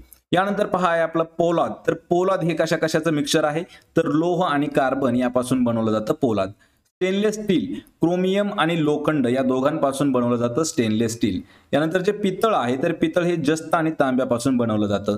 आणि ट्वेंटी टू कॅरेट गोल्ड जे आहे म्हणजे चू बावीस कॅरेट सोनं जे आहे हे तांबे आणि सोन्यापासून बनवलं जातं. लक्षात ठेवा हे चार घटक मित्रांनो खूप महत्त्वाचे आहेत. यामध्ये आपल्याला ट्वेंटी टू कॅरेट गोल्ड जे आहे सोनं त्यावरती प्रश्न एक वेळा विचारण्यात आलेला आहे. या प्रश्नाचं उत्तर होईल पर्याय क्रमांक एक. यानंतरचा प्रश्न आहे पृथ्वीवर सूर्य पूर्वेला उगवतो व पश्चिमेला मावळतो याचं मुख्य रिझन काय आहे? म्हणजेच या प्रश्नाचं आपल्याला कारण सांगायचं आहे. पृथ्वीवरती आपला सूर्य जो आहे तो पूर्व दिशेला उगवतो आणि पश्चिम दिशेला मावळतो. तर याचं कारण काय आहे? याचं कारण आहे पहा पृथ्वी स्वतः भोवती पश्चिमेकडून पूर्वेकडे फिरते. ऑप्शन क्रमांक दोन पृथ्वी जी आहे ही स्वतः भोवती पश्चिमेकडून पूर्वेकडे फिरत असते. यामध्ये सूर्य चंद्र तारे पूर्वेला उगून पश्चिमेला मावळताना दिसतात. कारण पृथ्वी जी आहे ही स्वतःभोवती फिरताना पश्चिमेकडून पूर्वेकडे असा प्रवास करते. आणि शुक्र हा जो ग्रह आहे हा पूर्वेकडून पश्चिमेकडे फिरतो. पर्याय क्रमांक दोन आपलं या प्रश्नाचं उत्तर होईल. यानंतरचा प्रश्न आहे पहा. मुरंब देवाचा किल्ला आणि खेळणा किल्ला यांची शिव छत्रपती शिवाजी महाराजांनी अनुक्रमे कोणती नावे दिलेली आहेत? पहा मुरंबदेवचा किल्ला आणि खेळणा किल्ला यांना अनुक्रमे महाराजांनी कोणती नावं दिली आहेत? तर या प्रश्नाचं उत्तर मित्रांनो खूप सोपं आहे. ऑप्शन क्रमांक एक तर राजगड आणि विशाळगड अशी नावं दिलेली आहेत. यामध्ये पहा तोरणा किल्ला. अजून काही किल्ले असे आहेत की त्यांचे जुने नाव आणि नवीन नाव आपण सांगणार आहोत. जो तोरणा किल्ला आहे तर त्याला प्रचंडगड असं म्हटलं जातं आणि स्वराज्यातील तो पहिला किल्ला आहे. मुरुंबदेवचा किल्ला जो आहे त्याला राजगड म्हटलं जातं. पहा राजगड. आणि राजगड जी आहे ही स्वराज्याची पहिली राजधानी म्हणून ओळखली जाते. लक्षात ठेवा राजगड ही स्वराज्याची पहिली राजधानी आहे. रायरीचा जो किल्ला आहे त्याला रायगड म्हटलं जातं आणि स्वराज्याची दुसरी राजधानी आहे. पहा रायगड. यानंतर जो भोरपा डोंगर आहे त्याला प्रतापगड म्हटलं जातं.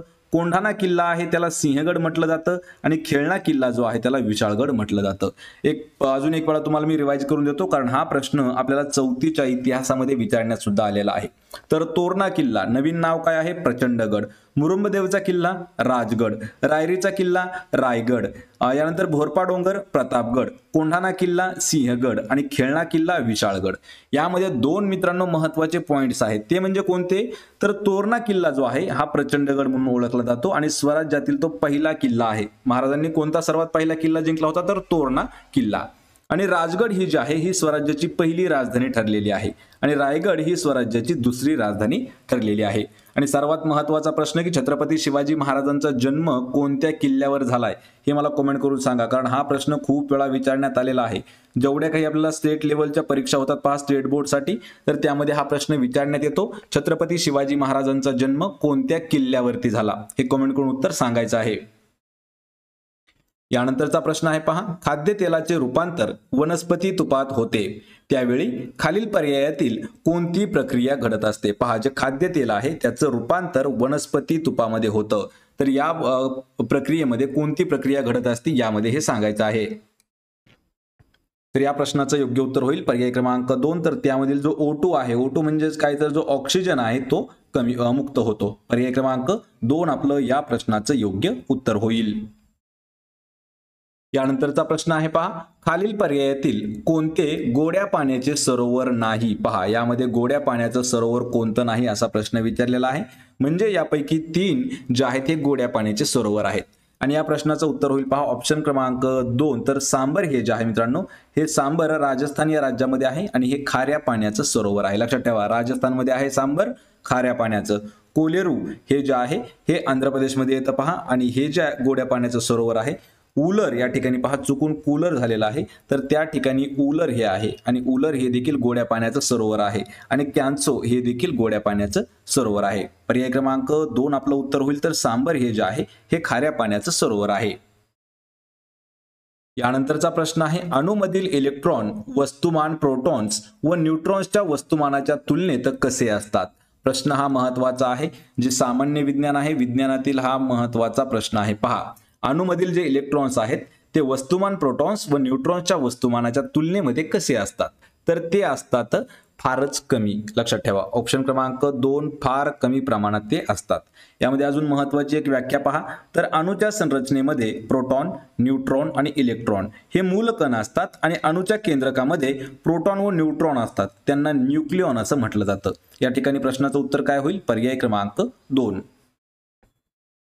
यानंतरचा प्रश्न आहे पर्यावरणवादी कार्यकर्ते राजेंद्र सिंग यांच्याशी संबंधित बाबी खालीलपैकी कोणत्या आहेत? पहा राजेंद्र सिंग यांच्याशी हे जे आहेत हे पर्यावरणवादी कार्यकर्ते होते आणि त्यांच्या संबंधातील खालीलपैकी कोणत्या बाबी आहेत? यामध्ये बाबी काय दिल्या आहेत? तरुण भारत संघ पाणी पंचायत पेड बचाव पेड लगाव पदयात्रा आणि चिपको आंदोलन.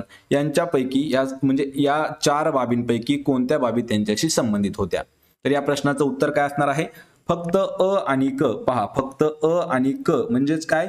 तर अ म्हणजे आहे तरुण भारत संघ आणि क म्हणजे आहे पेड बचाव पेड लगाव पदयात्रा. या दोन बाबीशी संबंधित आहेत पर्यावरणवादी राजेंद्र सिंह. ऑप्शन क्रमांक एक आपलं या प्रश्नाचं उत्तर होईल. यानंतरचा प्रश्न आहे मानवाचे किती दात पडून पुन्हा नव्याने दात येतात? पहा हा देखील प्रश्न महत्त्वाचा आहे. आणि मित्रांनो हा प्रश्न आपल्याला सहावीच्या विज्ञानामध्ये सुद्धा दिलेला आहे. आणि या ठिकाणी उत्तर असणार आहे पर्याय क्रमांक दोन. तर वीस दात. लक्षात ठेवा. साधारणपणे बालकाला किंवा बाळाला सहा महिन्यानंतर दात यायला सुरुवात होते आणि तीन वर्षानंतर बाळाला दात येतात. त्यामध्ये त्यांना दुधी दात असं म्हटलं जातं. पहा दुधी दात हे जे आहेत हे टोटल आपल्याला वीस असतात दुधी दात. दुधी दात असे असतात की ते एक वेळा पडून ते परत एक वेळा येतात आणि ते दुधी दात असतात वीस. ऑप्शन क्रमांक दोन आपलं उत्तर होईल. यानंतरचा प्रश्न आहे पहा खालीलपैकी निसर्गातील सफाई कामगार म्हणून खालीलपैकी कोणाला ओळखले जाते? निसर्गातील सफाई कामगार कोण आहेत? तर या प्रश्नाचं उत्तर होईल ऑप्शन क्रमांक चार वाळवी आणि घार यांना म्हटलं जातं. पहा निसर्गातील सफाई कामगार. या ठिकाणी अजून आहेत पहा निसर्गातील सफाई कामगार. तर यामध्ये पहा वाळवी घार कावळे गिधाड डुक्कर आणि तरस हे जे आहेत यांना निसर्गातील सफाई कामगार म्हणून देखील ओळखले जाते. पर्याय क्रमांक चार आपलं या प्रश्नाचं उत्तर होईल. यानंतरचा प्रश्न आहे पहा खालील पर्यायातील प्राण्यांच्या सर्वसाधारण आयुर्मानाप्रमाणे उतरता क्रम लावल्यास सुरुवातीपासूनचा दुसरा प्राणी कोणता असेल? मित्रांनो हा प्रश्न खूप महत्त्वाचा आहे. म्हणजे थोडासा कन्क्लू म्हणजे कन्फ्यूज करणारा हा प्रश्न आहे. प्रश्न काय दिलेला आहे? की प्राण्याच्या सर्वसाधारण आयुर्मानाप्रमाणे उतरता क्रम असा पाहे उतरता क्रम म्हणजे वरच्याकडून खालच्याकडे येणारा क्रम लावल्यास दुसऱ्या क्रमांकाचा प्राणी कोणता असेल? या ठिकाणी मी आधी उत्तर सांगतो तर याचं उत्तर आहे पहा ऑप्शन क्रमांक एक. तर शहामृग हे जे आहे हे आपलं उत्तर असेल. या ठिकाणी पहा काही लोक म्हणतील की प्राणी आणि तुम्ही सांगितलंय पक्षी. तर लक्षात ठेवायचंय प्राणी पक्षी कोणताही घटक असो या ठिकाणी आपल्याला दिलेला आहे. तर या ठिकाणी जी घरमाशी असते हिचा कालावधी असतो एक ते चार महिने म्हणजे ती जगण्याचा. शहामृग जो आहे त्याचा कार्यकाळ असतो पहा पन्नास वर्षाचा. जो कुत्रा आहे कुत्र्याचा असतो सोळा ते अठरा वर्ष. आणि हत्ती जो आहे तो सत्तर ते नव्वद वर्ष जगतो. यामध्ये पहा सर्वात पहिला कोणता झाला प्राणी? हत्ती. यानंतर कारण तो सत्तर ते नव्वद वर्ष जगतो. यानंतर दुसरा पन्नास वर्षाचा कोणता आहे? तर शहामृग. हा जो आहे हा पन्नास वर्षाचा आहे. तिसरा कोण आहे? तर तिसरा आहे या ठिकाणी कुत्रा. आणि चौथा काय आहे? तर माशी. या ठिकाणी पहा आपल्याला काय विचारलं आहे? दुसरा प्राणी कोणता? तर हत्ती पहिला झाला शहामृग दुसरा झाला. म्हणजेच ऑप्शन क्रमांक एक आपलं या प्रश्नाचं उत्तर होईल. यानंतरचा प्रश्न आहे जागतिक आरोग्य दिवस खालीलपैकी कोणत्या दिवशी साजरा केला जातो? मित्रांनो दिनविशेष हे खूप महत्त्वाचा घटक आहे. सामाजिक शास्त्र असो परिसर अभ्यास असो किंवा कोणतीही स्पर्धा परीक्षा जरी असो त्यामध्ये आपल्याला दिनविशेष शिवाय प्रश्न विचारला जात नाही. आणि जागतिक आरोग्य दिवस हा जो आहे हा सात एप्रिल या दिवशी साजरा केला जातो. या ठिकाणी अठ्ठावीस फेब्रुवारी हा जो दिवस आहे हा विज्ञान दिवस म्हणून साजरा केला जातो आणि दहा जून जो आहे तो जागतिक दृष्टीदान दिवस म्हणून साजरा केला जातो. आणि अशाच पद्धतीचे आपल्याला एका वर्षाचे पहा जागतिक आणि राष्ट्रीय दिनविशेष म्हणजे आंतरराष्ट्रीय दिनविशेष आणि राष्ट्रीय दिनविशेष जर पाहायचे असतील तर त्या व्हिडिओच्या लिंक्स देखील मी तुम्हाला डिस्क्रिप्शनमध्ये दिलेल्या आहेत. या प्रश्नाचं उत्तर होईल. पर्याय क्रमांक चार सात एप्रिल हा दिवस जागतिक आरोग्य दिवस. यानंतरचा प्रश्न आहे सौर घटाचा वापर करून खालीलपैकी कोणकोणत्या ठिकाणी वीज पुरवठा करता येईल? यामध्ये पहा अवकाशातील मानवनिर्मित उपग्रह औषध साठवण्याचे शीत कपाट शीत कपाट म्हणजे आपण त्याला फ्रीज म्हणतो. वीज मापक यामध्ये सुद्धा सौरघट वापरला जाऊ शकतो. आणि स्वयंपाक करणे आणि दुर्गम भागामध्ये पाणी उपसणारे पंप या कशामध्ये यापैकी सौर घटाचा वापर केला जातो? आणि या ठिकाणी प्रश्नाचं उत्तर असणार आहे पहा मित्रांनो. पर्याय क्रमांक चार. तर फक्त अ ब क ड ई म्हणजेच अवकाशातील मानव निर्मित उपग्रह यामध्ये सौरघट वापरला जातो. ब म्हणजेच औषध साठवण्याचं शीतकपाट यामध्ये सुद्धा वापरला जाऊ शकतो. वीज मापकामध्ये सुद्धा वापरला जाऊ शकतो. आणि ड म्हणजे स्वयंपाकघरात सुद्धा त्याचा पुर वापरला जाऊ शकतो. आणि दुर्गम भागामध्ये पाणी उपसवणारे जे पंप आहात त्यामध्ये सुद्धा वापरला जाऊ शकतो. ऑप्शन क्रमांक चार आपलं या प्रश्नाचं उत्तर होईल. यानंतरचा प्रश्न आहे भारताच्या उत्तर भूभागावरून समुद्राकडे वाहणाऱ्या कोरड्या वाऱ्यामुळे खालील पर्यायातील कोणत्या ठिकाणी पाऊस पडतो? पहा कारवार कवरत्ती मच्छलीपट्टणम आणि मंगरुळ. तर या ठिकाणी काय विचारलं आहे? भारताच्या उत्तर भूभागावरून समुद्राकडे वाहणाऱ्या कोरड्या वाऱ्यांमुळे कोणत्या ठिकाणी पाऊस पडतो? तर हा पाऊस पडतो ऑप्शन क्रमांक तीन तर मच्छलीपट्टणम या ठिकाणी पाऊस पडतो. या ठिकाणी समजून घेण्याचं आहे थोडंसं. तर भारताच्या उत्तर भूभागावरून म्हणजेच कोणत्या तर बंगालच्या उपसागरावरून कोरडे उष्ण वारे वाहत असतात किंवा वारे वाहतात त्यामुळे बंगालच्या उपसागराच्या किनारी भागामध्ये पाऊस पडतो. कारवार कवरत्ती मंगळूर हे जे आहेत हे अरबी समुद्राच्या किनारी भागातील असणारे ठिकाण आहेत. आणि मच्छलीपट्टणम हे जे आहे हे बंगालच्या उपसागरातील एक ठिकाण आहे. पर्याय क्रमांक तीन आपलं या प्रश्नाचं उत्तर होईल. यानंतरचा प्रश्न आहे पहा प्रतियोगिता सहकारिता हे तत्व जाहीर करणारे खालीलपैकी कोण होते? मित्रांनो हा प्रश्न आपल्याला दोन हजार सोळा मध्ये सुद्धा विचारलेला आहे आणि दोन हजार एकोणवीसमध्ये हा सुद्धा प्रश्न विचारण्यात आला होता. तर प्रायोगिता सहकारिता. हे तत्व जाहीर करणारे खालीलपैकी कोण होते? तर ते होते पर्याय क्रमांक तीन लोकमान्य टिळक. ऑप्शन क्रमांक तीन आपलं उत्तर होईल. यानंतरचा प्रश्न आहे पहा खालील पर्यायातील परिसरीय घटकांबद्दल कोणते विधान बरोबर आहे? पहा परिसरीय घटकांबद्दल बरोबर असणारं विधान आपल्याला ओळखायचं आहे. तर या प्रश्नाचं योग्य उत्तर होईल. पर्याय क्रमांक तीन गाव व शहरे हे सामाजिक घटक आहेत. हे जे विधान आहे हे आपलं बरोबर असणारं विधान आहे. याच्याविषयी मित्रांनो अजून काही महत्त्वाचे पॉईंट्स आपण पाहून घेणार आहोत.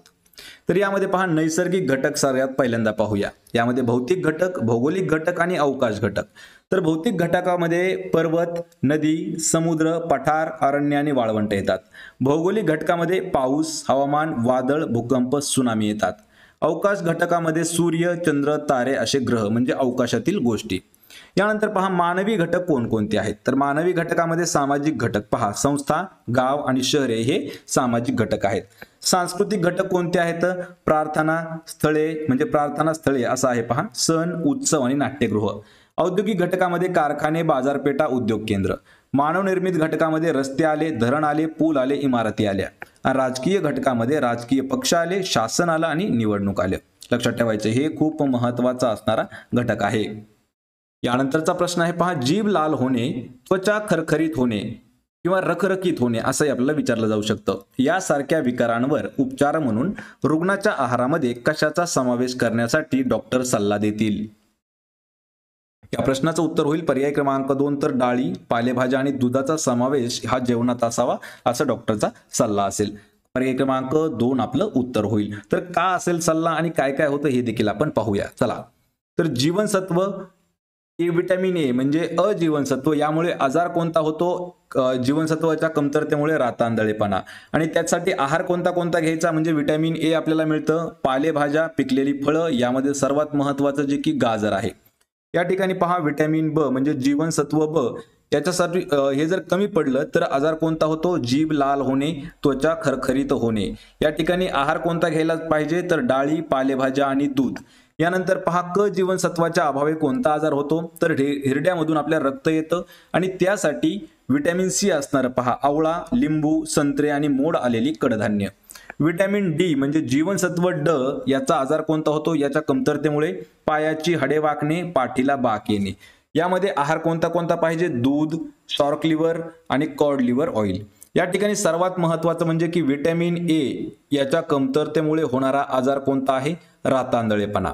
व्हिटॅमिन बीच्या कमतरतेमुळे एक आहे पहा रोग बेरी बेरी व्हिटॅमिन सीच्या कमतरतेमुळे कोणता होतो? तर विटॅमिन सीच्या कमतरतेमुळे स्कर्बी होतो. आणि व्हिटॅमिन डीच्या कमतरतेमुळे जो आहे तो मुडदूस होतो. आणि मुडदूसचंच लक्षण आहे पहा हातापायाची जी हाडं आहेत ही वाकडे होतात आणि पाठीला बाक येतो. आणि सर्वात याचा व्हिटॅमिन डीचा अजून एक स्रोत कोणता आहे?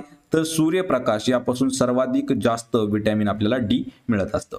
लक्षात ठेवा हे सर्व खूप महत्त्वाचे असणारे घटक आहेत. तर पहा आपला प्रश्न पहिला आहे खालील जोड्यांमधून योग्य जोडी आपल्याला ओळखायची आहे. मित्रांनो हा प्रश्न खूप महत्त्वाचा आहे पहा. आणि दोन हजार सोळा ते दोन हजार एकवीस या पाच वर्षामध्ये जेवढी काही महा टीईटीचे परीक्षा झालेल्या आहेत त्यामधीलच आपण मराठी व्याकरण जे आहे ते घेतलेलं आहे. तर यापैकी आपल्याला योग्य जोडी ओळखायची आहे. यामध्ये पहा कोणती जोडी योग्य आहे हे लगेच तुम्हाला मी सांगतो. ऑप्शन क्रमांक एक तर मुकनायक आणि श्रीपाद कृष्ण कोल्हटकर हे त्याचे लेखक आहेत. लक्षात ठेवा पुण्यप्रभाव चुकीचा आहे उद्याचा संसार चुकीचा आहे शाकुंतल चुकीचा आहे. यामध्ये मुकनायक हे जे आहे हे श्रीपाद कृष्ण कोल्हटकर यांनी लिहिलेलं आहे. पुण्यप्रभाव हे जे आहे हे दीनानाथ मंगेशकर यांनी लिहिलेलं आहे. उद्याचा संसार हे चंद्रकांत काकोडकर यांनी लिहिलेलं आहे आणि शाकुंतल हे कालिदासांनी लिहिलेलं आहे. म्हणजेच ऑप्शन क्रमांक एक आपलं या प्रश्नाचं उत्तर असणार आहे. यानंतरचा प्रश्न आहे पहा खालील शब्दाचा समास ओळखायचा आहे. पहा आपल्याला समास विचारलेला आहे आणि शब्द आहे पाला पाचोळा. तर पाला पाचोळा या शब्दाचा समास कोणता होईल? या प्रश्नाचं उत्तर होईल. पर्याय क्रमांक एक तर द्वंद्व समास होईल. पा पाला पाचोळा. तर तो का होईल? लक्षात ठेवा. समासात कमीत कमी दोन शब्द एकत्र आलेले असतात. शब्दांच्या एकत्रीकरणाने जो एक जोड शब्द तयार होतो त्याला सामासिक शब्द असे म्हटले जाते. पहा सामासिक शब्दाची या ठिकाणी आपण एक व्याख्या घेतलेली आहे पहा. तर शब्दांच्या एकत्रीकरणामुळे जो एक जोड शब्द तयार होतो त्याला सामासिक शब्द असं म्हणतात. दिलेल्या प्रश्नामध्ये आपल्या पाला पाचोळा हा शब्द दिलेला आहे. आणि हा शब्द सामासिक शब्द जो आहे तो द्वंद्व समासातील आहे. म्हणजेच यामध्ये दोन्हीही पद महत्वाची असून समान अर्थाची आहेत. यामध्ये पाला आणि पाचोळा ही दोन्हीही पद जे आहेत हे महत्त्वाचे आहेत. या ठिकाणी पहा पाला पाचोळा. पाला आणि पाचोळा वगैरे. म्हणजेच तर पाला पाचोळ हे जे आहेत हे दोन्हीही पदं खूप महत्त्वाचे आहेत. आणि द्वंद्व समासामध्ये दोन्हीही पदे हे प्रधान असतात. या ठिकाणी आपण उदाहरण घ्यायचं झालं तर चहा पाणी. चहा आणि पाणी. आई बाप आई आणि बाप. बरे वाईट. बरे आणि वाईट. भाजीपाला भाजी आणि पाला. या ठिकाणी दोन्हीही पदं जे आहेत हे प्रत्येक उदाहरणामध्ये समान अर्थाचे पद आहेत. म्हणजेच हा जो समास आहे हा द्वंद्व समास आहे. पर्याय क्रमांक एक आपलं या प्रश्नाचं उत्तर होईल. यानंतरचा प्रश्न आहे पोलिसांनी चोरास पकडले. या वाक्यातील क्रियापद कोणत्या प्रकारचे क्रियापद आहे? पहा आपल्याला क्रियापदाचा प्रकार विचारलेला आहे. या ठिकाणी वाक्य दिलं आहे आणि पोलिसांनी चोरांना पकडले. या वाक्यातील क्रियापद कोणत्या प्रकारचे आहे? या प्रश्नाचं उत्तर होईल. पर्याय क्रमांक दोन तर सकर्मक क्रियापद या ठिकाणी आलेलं आहे. पहा सकर्मक क्रियापद काय आहे? पकडले. या ठिकाणी कर्ता कोण आहे? कर्ता पोलीस आहे. कोणास पकडलं म्हणजेच कर्म कोण आहे? तर चोर आहे. पर्याय क्रमांक दोन आपलं या प्रश्नाचं उत्तर होईल. यानंतरचा प्रश्न आहे खालील शब्दाचा विरुद्धार्थी शब्द ओळखायचा आहे. पहा विरुद्धार्थी शब्द काय आहे? चिरंतन हा जो शब्द आहे याचा विरुद्ध अर्थाचा शब्द कोणता होईल? तर या प्रश्नाचं उत्तर असणार आहे ऑप्शन क्रमांक दोन. तर चिरंतनचा विरुद्धार्थी शब्द होईल पहा क्षणभंगूर. या ठिकाणी पहा चिरंतर. या ठिकाणी पहा चिरंतर किंवा चिरंतन याचा जो शब्द आहे तो आहे क्षणभंगूर विरुद्धार्थी. चिकारचा थोडे हा विरुद्धार्थी शब्द आहे. चिरकालचा अल्पकाल हा विरुद्ध शब्द आहे. आणि चिरायूचा अल्पायू. लक्षात ठेवा. अल्पायू हा जो आहे हा त्याचा विरुद्धार्थाचा शब्द आहे.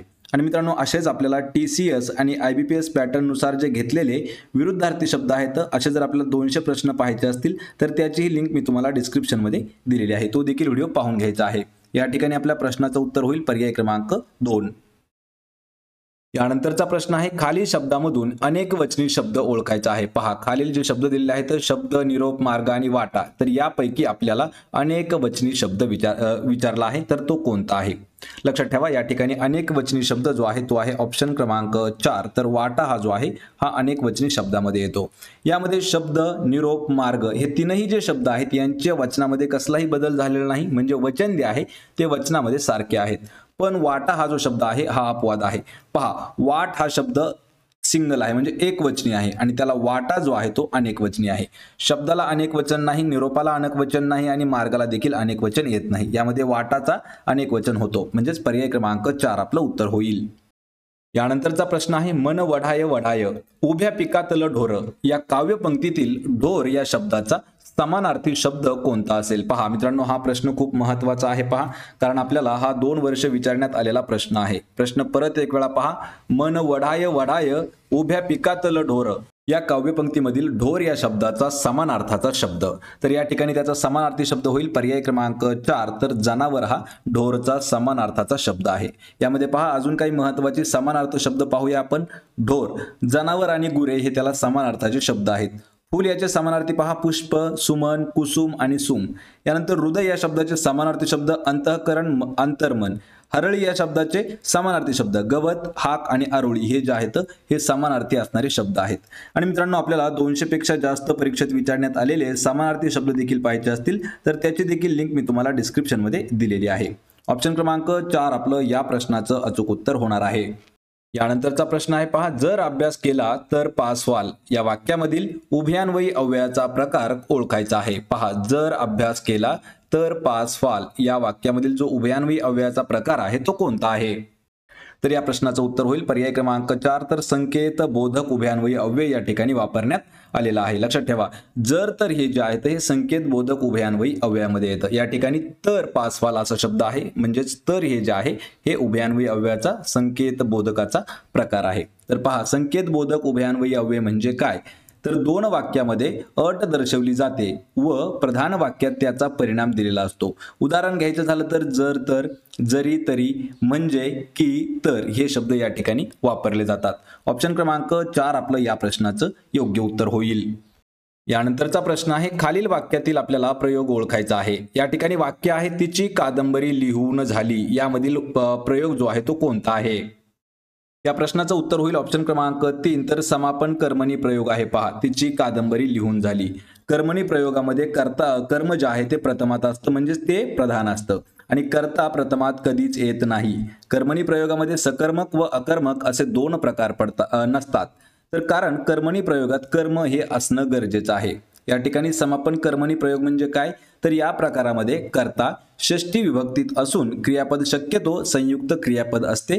त्यावरून केवळ क्रिया समाप्तीचा अर्थ सूचित होतो. उदाहरणार्थ घ्यायचं झालं तर पहा त्याचे जेवण करून झाले आणि तिची कादंबरी वाचून झाली किंवा तिची कादंबरी लिहून झाली. हे जे आहेत उदाहरणं हे समापन कर्मणी प्रयोगाचे उदाहरणं आहेत. पर्याय क्रमांक तीन आपलं या प्रश्नाचं उत्तर होईल.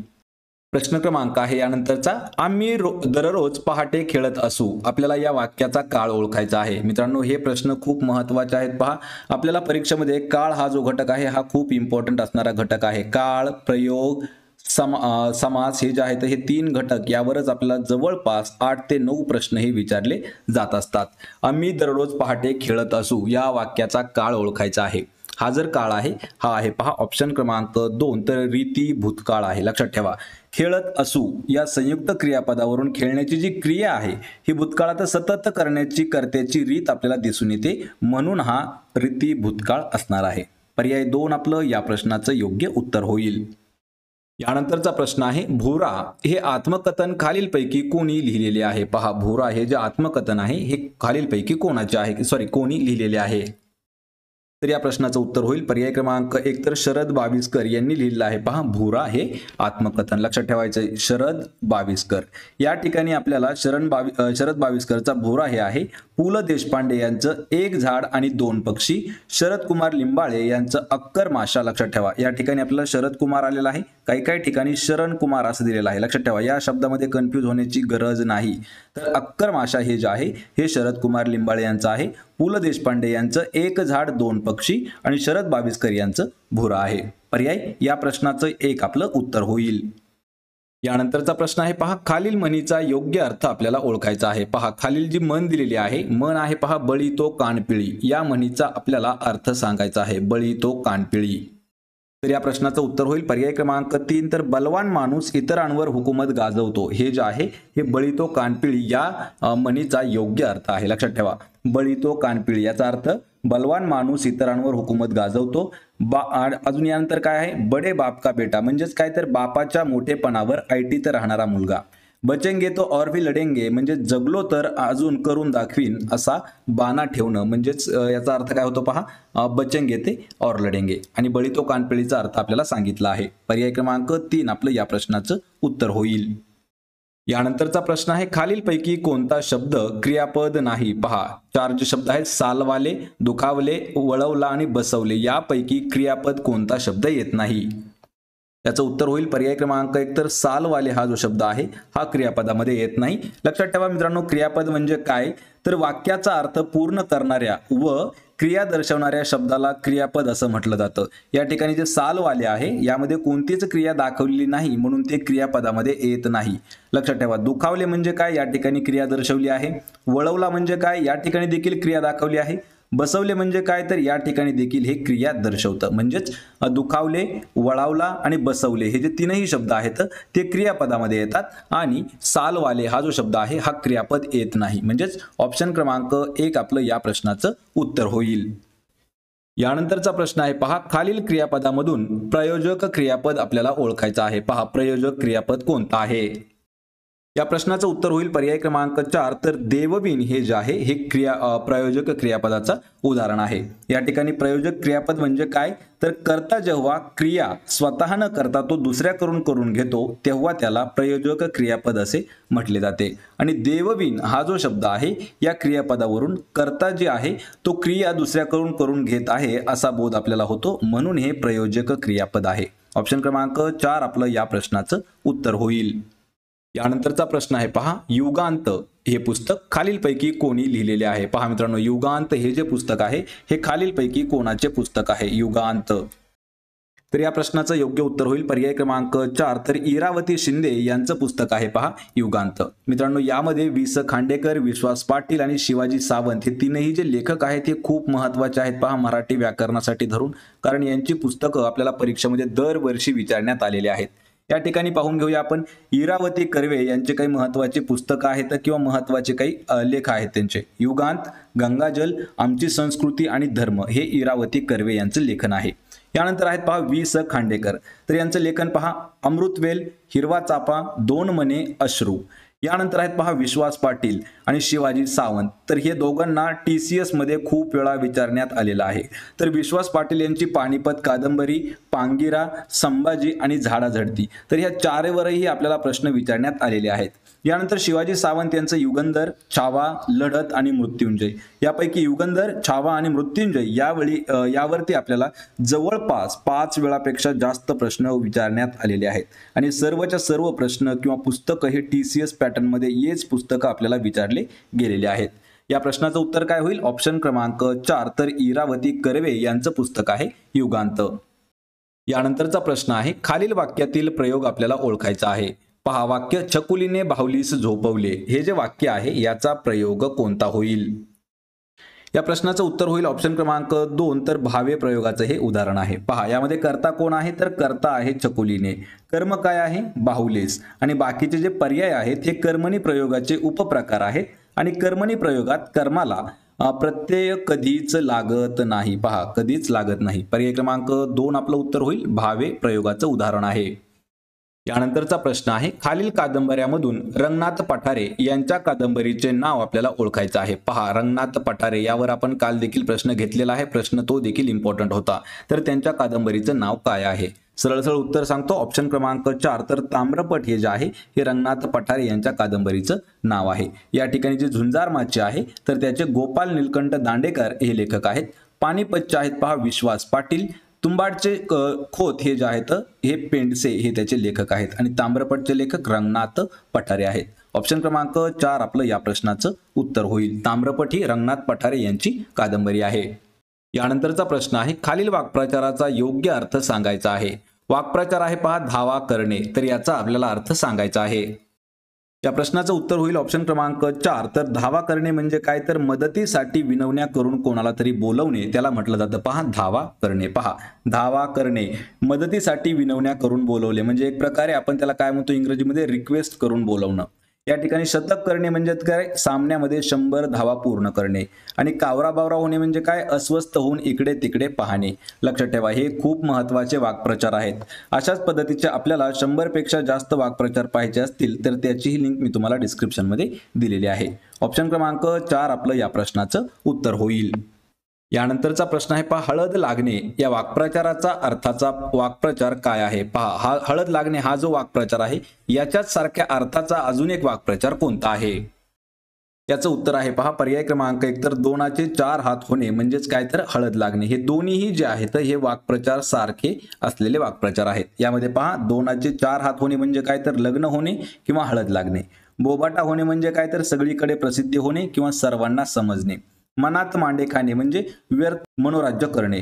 या ठिकाणी हायसे वाटणे म्हणजेच काय तर भीती वाटणे. ऑप्शन क्रमांक एक आपलं या प्रश्नाचं योग्य उत्तर होईल.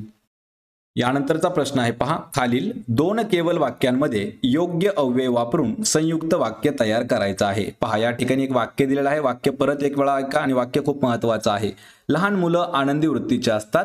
ती आनंद घेण्यात तरवेज असतात. यामध्ये आपल्याला कोणतं एक अव्यय वापरायचं आहे आणि ते अव्यय वापरून आपल्याला संयुक्त वाक्य हे तयार करायचं आहे.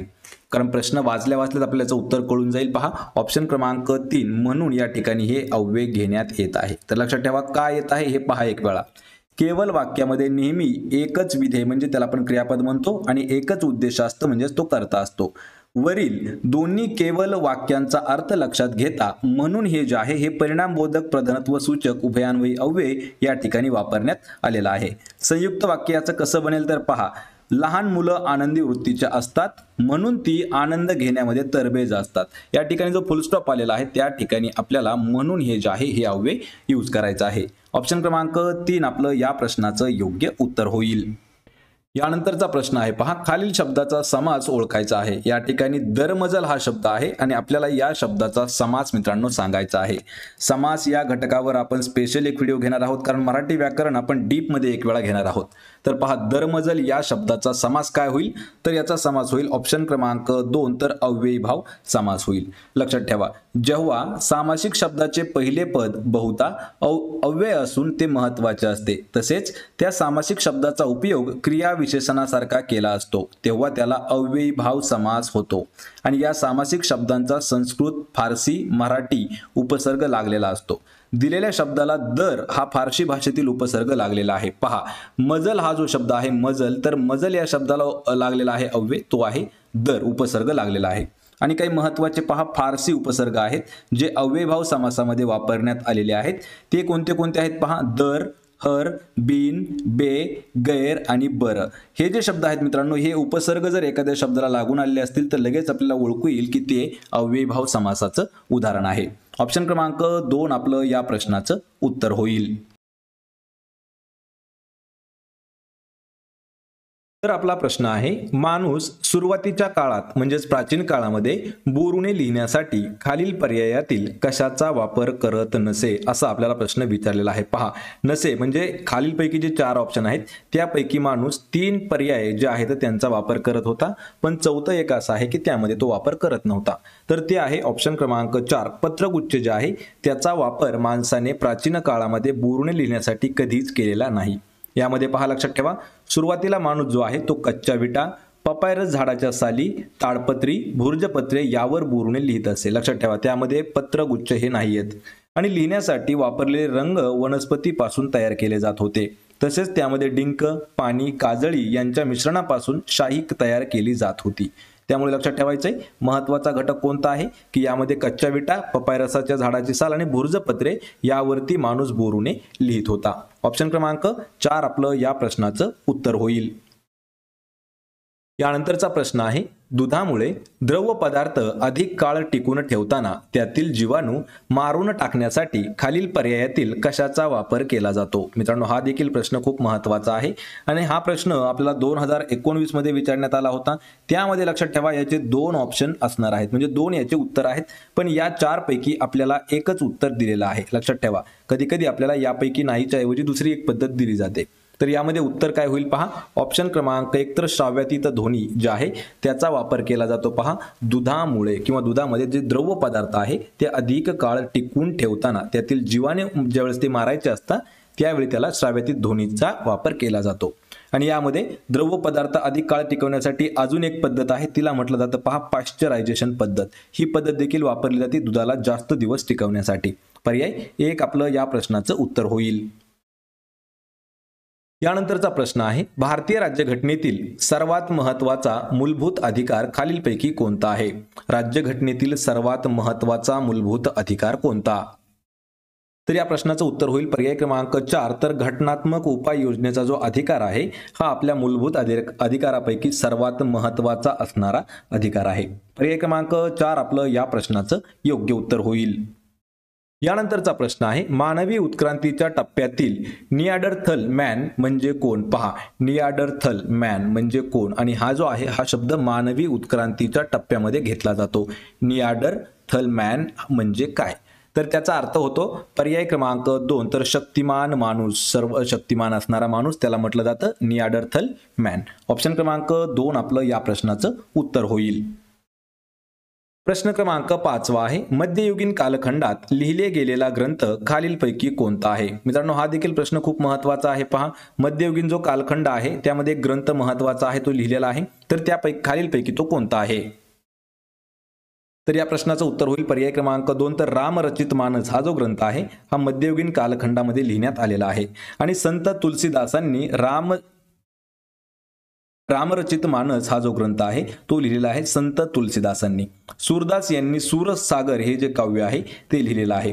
यामध्ये नाट्यशास्त्र पंचतंत्र अर्थशास्त्र हे प्राचीन काळातील खूप महत्त्वाचे असणारे ग्रंथ आहेत. आणि यामध्ये मित्रांनो दोन प्रश्न आपल्याला खूप महत्त्वाचे आहेत. त्यामध्ये पहिला प्रश्न आहे की रामरचित मानस हा ग्रंथ कोणी लिहिला? तर संत तुलसीदासांनी लिहिला. यानंतर अजून एक आहे की सूरसागर हे काव्य कोणाचं आहे? तर ते आहे सूरदास यांचं. आणि या प्रश्नाचं उत्तर होईल ऑप्शन क्रमांक दोन. यानंतरचा प्रश्न आहे सातवाहन सत्तेची राजधानी असलेले प्रतिष्ठान हे ठिकाण सध्या कोणत्या राज्यामध्ये स्थित आहे? पहा प्रतिष्ठान हा शब्द खूप महत्त्वाचा आहे. प्रतिष्ठान जे होतं हे सातवाहन सत्ता जी होती म्हणजे सातवाहन जो राजा होता तर त्याच्या राजधानीचं नाव होतं प्रतिष्ठान. म्हणजे त्या ठिकाणी त्याची राजधानी होती. तर हे जे प्रतिष्ठान नाव आहे हे खूप जुनं नाव आहे पण ते सध्या कोणत्या राज्यामध्ये आहे? या ठिकाणी आपल्याला माहीत असणं गरजेचं आहे की प्रतिष्ठान हे जे आहे हे सध्या आपल्या ऑप्शन क्रमांक एक तर महाराष्ट्र राज्यामध्ये स्थित आहे. लक्षात ठेवा महाराष्ट्र मध्य प्रदेश आंध्र प्रदेश या प्रदेशामध्ये सातवाहन घराण्याचं खूप मोठं राज्य होतं. आणि प्रतिष्ठान हे जे आहे सध्या महाराष्ट्रातील जे पैठण ठिकाण आहे तर त्या पैठणलाच प्रतिष्ठान म्हणून ओळखलं जात होतं. आणि सातवाहन सत्तेची राजधानी हे पैठण होतं म्हणजे तेव्हाचं प्रतिष्ठान होतं. आणि सध्या ते महाराष्ट्र राज्यामध्ये स्थित आहे. जर आपल्याला जिल्हा विचारला तर छत्रपती संभाजीनगर. छत्रपती संभाजीनगर या जिल्ह्यामध्ये स्थित आहे पहा. ते पैठण. पर्याय क्रमांक एक आपलं या प्रश्नाचं उत्तर होईल. यानंतरचा प्रश्न आहे भारतातील पश्चिम घाटाच्या वैशिष्ट्यापैकी विसंगत असणारी बाब खालीलपैकी पर्यायातील कोणती बाब आहे? पहा. काय विचारलंय की पश्चिम घाटाच्या वैशिष्ट्यांपैकी विसंगत म्हणजे कोणती? तर वेगळी असणारी बाब कोणती आहे? तर या प्रश्नाचं योग्य उत्तर होईल पहा. ऑप्शन क्रमांक चार तर बहुतांश अग्निज खडकांनी बनलेला भाग ही जी बाब आहे ही वेगळी आहे. यामध्ये समान बाबी कोणकोणत्या आहेत? अन्नई मुडी हे सर्वात उंच शिखर आहे. युनेस्कोच्या वर्ल्ड हेरिटेजमध्ये या साईट्समध्ये त्याचा समावेश आहे. आणि जैव वैविध्य संवेदन क्षेत्राचा एक भाग आहे. ह्या जर तीन गोष्टी आहेत तर ह्या साम्य असणाऱ्या गोष्टी आहेत आणि विसंगत आहे. बहुतांश अग्निज खडकांनी बनलेला भाग. पर्याय चार आपलं उत्तर होईल. यानंतरचा प्रश्न आहे तंबाखू खाणे किंवा धूम्रपान करणे यामुळे खालीलपैकी कोणता परिणाम होतो? यामध्ये आपल्याला दोन परिणाम दिलेले आहेत. पहा त्यापैकी पहिला निकोटीन मेंदू आणि हृदयाला घातक असते. आणि दुसरा आहे फुफ्फुसामध्ये टार जमा झाल्यास कर्करोग होतो. यापैकी आपल्याला काय विचारलंय की हे जे दोन कारणं आहेत तर ते खालीलपैकी कोणता परिणाम होतो? तर या प्रश्नाचं योग्य उत्तर असेल ऑप्शन क्रमांक तीन. तर दोन्ही अ आणि ब. म्हणजे पहा निकोटीन मेंदू आणि हृदयाला घातक ठरतं आणि फुफ्फुसामध्ये टार जमा झाल्यामुळे आपल्याला कर्करोग म्हणजे तर कॅन्सर होण्याचा धोका असतो. म्हणजे ह्याच्या दोन्हीही गोष्टी आहेत किंवा दोन्हीही जे परिणाम आहेत ते योग्य असणार आहेत. पर्याय क्रमांक तीन आपलं या प्रश्नाचं उत्तर होईल.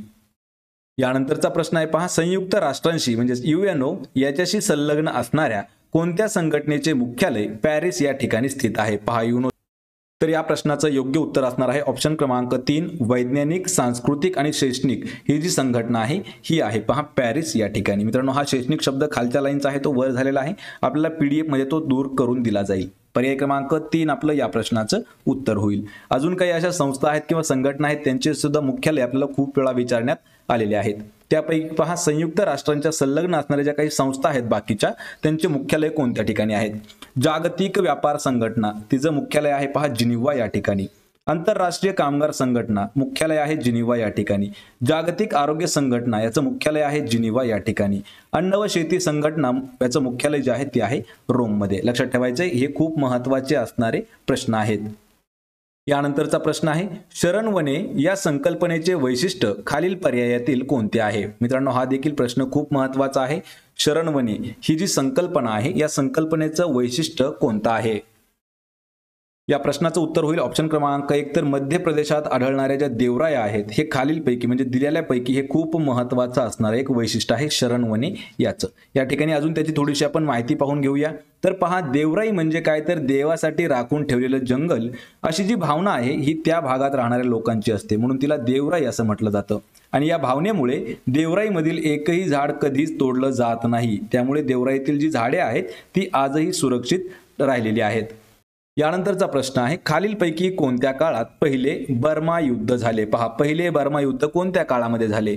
मित्रांनो हा प्रश्न आपल्याला टी सी एसने आतापर्यंत चार वेळा विचारण्यात आलेला आहे. पहा जो बर्मा युद्ध आहे पहिलं ते कधी झालं? तर ते झालं अठराशे चोवीस ते अठराशे सव्वीसच्या काळामध्ये म्हणजेच पर्याय क्रमांक दोन. पहा सन अठराशे चोवीस ते अठराशे सव्वीस या दरम्यान पहिले अँग्लो बर्मा युद्ध झालं आणि या युद्धामध्ये बर्मामध्ये ब्रिटिश राजवटीची सुरुवात झाली. तर या युद्धामुळे बर्माचे राज्य जे आहे दिवाळखोर झालं होतं. आणि ते जे राज्य आहे बर्माचं हे कायमचं कमकुवत म्हणजे वीक झालं राज्य. हे युद्ध ब्रिटिश भारतीय इतिहासातील सर्वात महागड्या युद्धापैकी देखील एक मानलं जातं. कालखंड लक्षात ठेवा अठराशे चोवीस ते अठराशे सव्वीस हे पहिल्या युद्धाचा कालखंड आहे. पर्याय क्रमांक दोन आपलं या प्रश्नाचं उत्तर होईल. यानंतरचा प्रश्न आहे पहा बैसाखी पंजाब. तसेच ओणम कशामध्ये असणार आहे? म्हणजे काय विचारले की हा जो सण आहे उत्सव आहे तो पंजाबमध्ये साजरा केला जातो. त्याच पद्धतीनं जो ओणम आहे तो कशामध्ये साजरा करतात? तर या प्रश्नाचं उत्तर होईल. पर्याय क्रमांक दोन. तर ओणम जो आहे तो केरळ या ठिकाणी साजरा केला जातो. मित्रांनो हा प्रश्न खूप वेळा विचारण्यात आलेला आहे. आपल्याला दोन हजार सोळा ते दोन हजार एकवीस या पाच वर्षामध्ये खूप वेळा प्रश्न असे विचारण्यात आलेले आहेत. राज्य सण त्यांचे उत्सव त्यांचे नृत्य हे सगळ्या गोष्टी आपल्याला परीक्षेमध्ये विचारले जातात. त्यापैकीच आपण काही महत्त्वाचे अजून पाहूया. पहा भारतातील सण आणि उत्सव. यामध्ये जे महाराष्ट्र आहे महाराष्ट्रामध्ये दसरा दिवाळी होळी हे जे आहेत हे सणामध्ये येतात. यानंतर पंजाबमध्ये काय आहे तर बैसाखी. आंध्र प्रदेशमध्ये काय आहे पहा येरुवाक पूनम. केरळमध्ये काय आहे पहा? ओनम तामिळनाडूमध्ये पोंगल किंवा या ठिकाणी पोंगल असाही शब्द देण्यात आलेला आहे. महाराष्ट्रामध्ये पहा कोळी नृत्य गुजरातमध्ये गरबा नृत्य कर्नाटकमध्ये यक्षगान आहे राजस्थानमध्ये घुमर आहे पंजाबमध्ये भांगडा आहे आसाममध्ये बिहू आहे. तर यामध्ये आपल्याला लक्षात ठेवण्याची खूप मोठे आहेत पहा केरळ याचं आपल्याला नृत्य लक्षात असलं पाहिजे ओनम या ठिकाणी पहा अजून आसाम जे आहे आसामचं काय आहे? तर आसामचं आहे बिहू. हे देखील लक्षात असलं पाहिजे. घुमर हे कशाचं आहे? ते देखील आपल्याला माहीत असणं गरजेचं आहे. कारण यावर आपल्याला चार ते पाच प्रश्न हे नेहमी विचारण्यात आलेले आहेत. एवढा जरी घटक आपण पाठ केला तरी आपले पाच चार प्रश्न कोणत्याच ठिकाणी जाणार नाहीत. यानंतरचा प्रश्न आहे पहा मानवी शरीरातील रासायनिक संदेश वाहक म्हणून ओळखला जाणारा घटक खालीलपैकी कोणता आहे? रासायनिक संदेश वाहक म्हणून ओळखला जाणारा घटक. तर या प्रश्नाचं उत्तर होईल. पर्याय क्रमांक दोन त्याला संप्रेरक असं म्हटलं जातं. पहा संप्रेरक याला काय म्हटलं जातं? तर आपल्या शरीरातील रासायनिक संदेश वाहक म्हणून तो ओळखला जातो. पहा संप्रेरक. पर्याय क्रमांक दोन आपलं या प्रश्नाचं उत्तर होईल. यानंतरचा प्रश्न आहे पहा बटाटे व कांदे यासारख्या भाज्यांना कोंब येऊ नयेत म्हणून त्या किंवा त्या नासू नयेत यासाठी कशाचा उपयोग केला जातो? पहा बटाटे कांदे हे जे आहेत हे लवकर नाचणारे काही पदार्थ आहेत किंवा भाज्या आहेत. किंवा त्यांना कोंब येऊ नयेत म्हणून त्या किंवा त्या सडू नयेत किंवा नासू नयेत म्हणून त्याच्यावरती काय वापरलं जातं? तर त्यांच्यावरती मित्रांनो ऑप्शन क्रमांक दोन गॅमा किरणांचा मारा केला जातो ज्याने की त्या नासत किंवा कोंब येत नाहीत. पर्याय क्रमांक दोन आपलं या प्रश्नाचं योग्य उत्तर होईल. यानंतरचा प्रश्न आहे अन्न साखळीतील द्वितीय भक्षित प्राणी खालीलपैकी कोणता आहे? पहा या ठिकाणी आपल्याला प्राणी विचारलेला आहे. काही काही ठिकाणी आपल्याला प्राणी म्हणून पक्षी देखील घेण्यात आलेला आहे. लक्षात ठेवा प्राणी म्हणून पक्षी देखील घेण्यात आलेला आहे. प्राणी किंवा पक्षी. आणि मित्रांनो हा प्रश्न आपण जशाच तसा दोन हजार एकोणवीसच्या प्रश्नपत्रिकेतील घेतलेला आहे. आणि त्याच पद्धतीने जी आलेली आन्सर की होती आपण त्यातीलच हा प्रश्न घेतलेला आहे. तर या प्रश्नाचं योग्य उत्तर काय असणार आहे? ऑप्शन क्रमांक दोन. तर गरुड लक्षात ठेवा. गरुड जो आहे मित्रांनो हा पक्षामध्ये येतो पण या ठिकाणी प्राणी विचारलेला आहे. पण हा प्राण्यामध्ये सुद्धा मोजला गेलेला आहे प्रश्नपत्रिकेनुसार. म्हणजे अन्न साखळीतील जो द्वितीय भक्षक आहे तो आहे गरुड. पर्याय क्रमांक दोन आपलं या प्रश्नाचं उत्तर होईल. यानंतरचा प्रश्न आहे छत्रपती शिवाजी महाराजांच्या राज्याभिषेक प्रसंगी श्री राजा शिव छत्रपती ही अक्षरे कोरलेले कोणते नाणे पाडण्यात आलेले होते? मित्रांनो यावरती आपल्याला तीन प्रश्न लक्षात ठेवा. हमेशा हे प्रश्न आपल्याला विचारले जातात. पहिला प्रश्न आहे की छत्रपती शिवाजी महाराजांचा जन्म लक्षात ठेवा. कधी? सोळाशे तीस. शिवाजी महाराजांचा राज्याभिषेक कधी झाला? सोळाशे चौऱ्याहत्तरमध्ये आपल्याला अजून एक प्रश्न सांगायचा आहे की आपल्याला प्रश्न सांगायचा आहे की कोणत्या किल्ल्यावरती झाला ते आपण कमेंट करून सांगायचं आहे. आणि छत्रपती शिवाजी महाराजांचा मृत्यू जो आहे तो आहे सोळाशे ऐंशी. जन्म सोळाशे तीस शिवनेरीवर. राज्याभिषेक सोळाशे चौऱ्याहत्तर हे मला कमेंट करून सांगा. आणि सोळाशे ऐंशी त्यांचा मृत्यू आहे.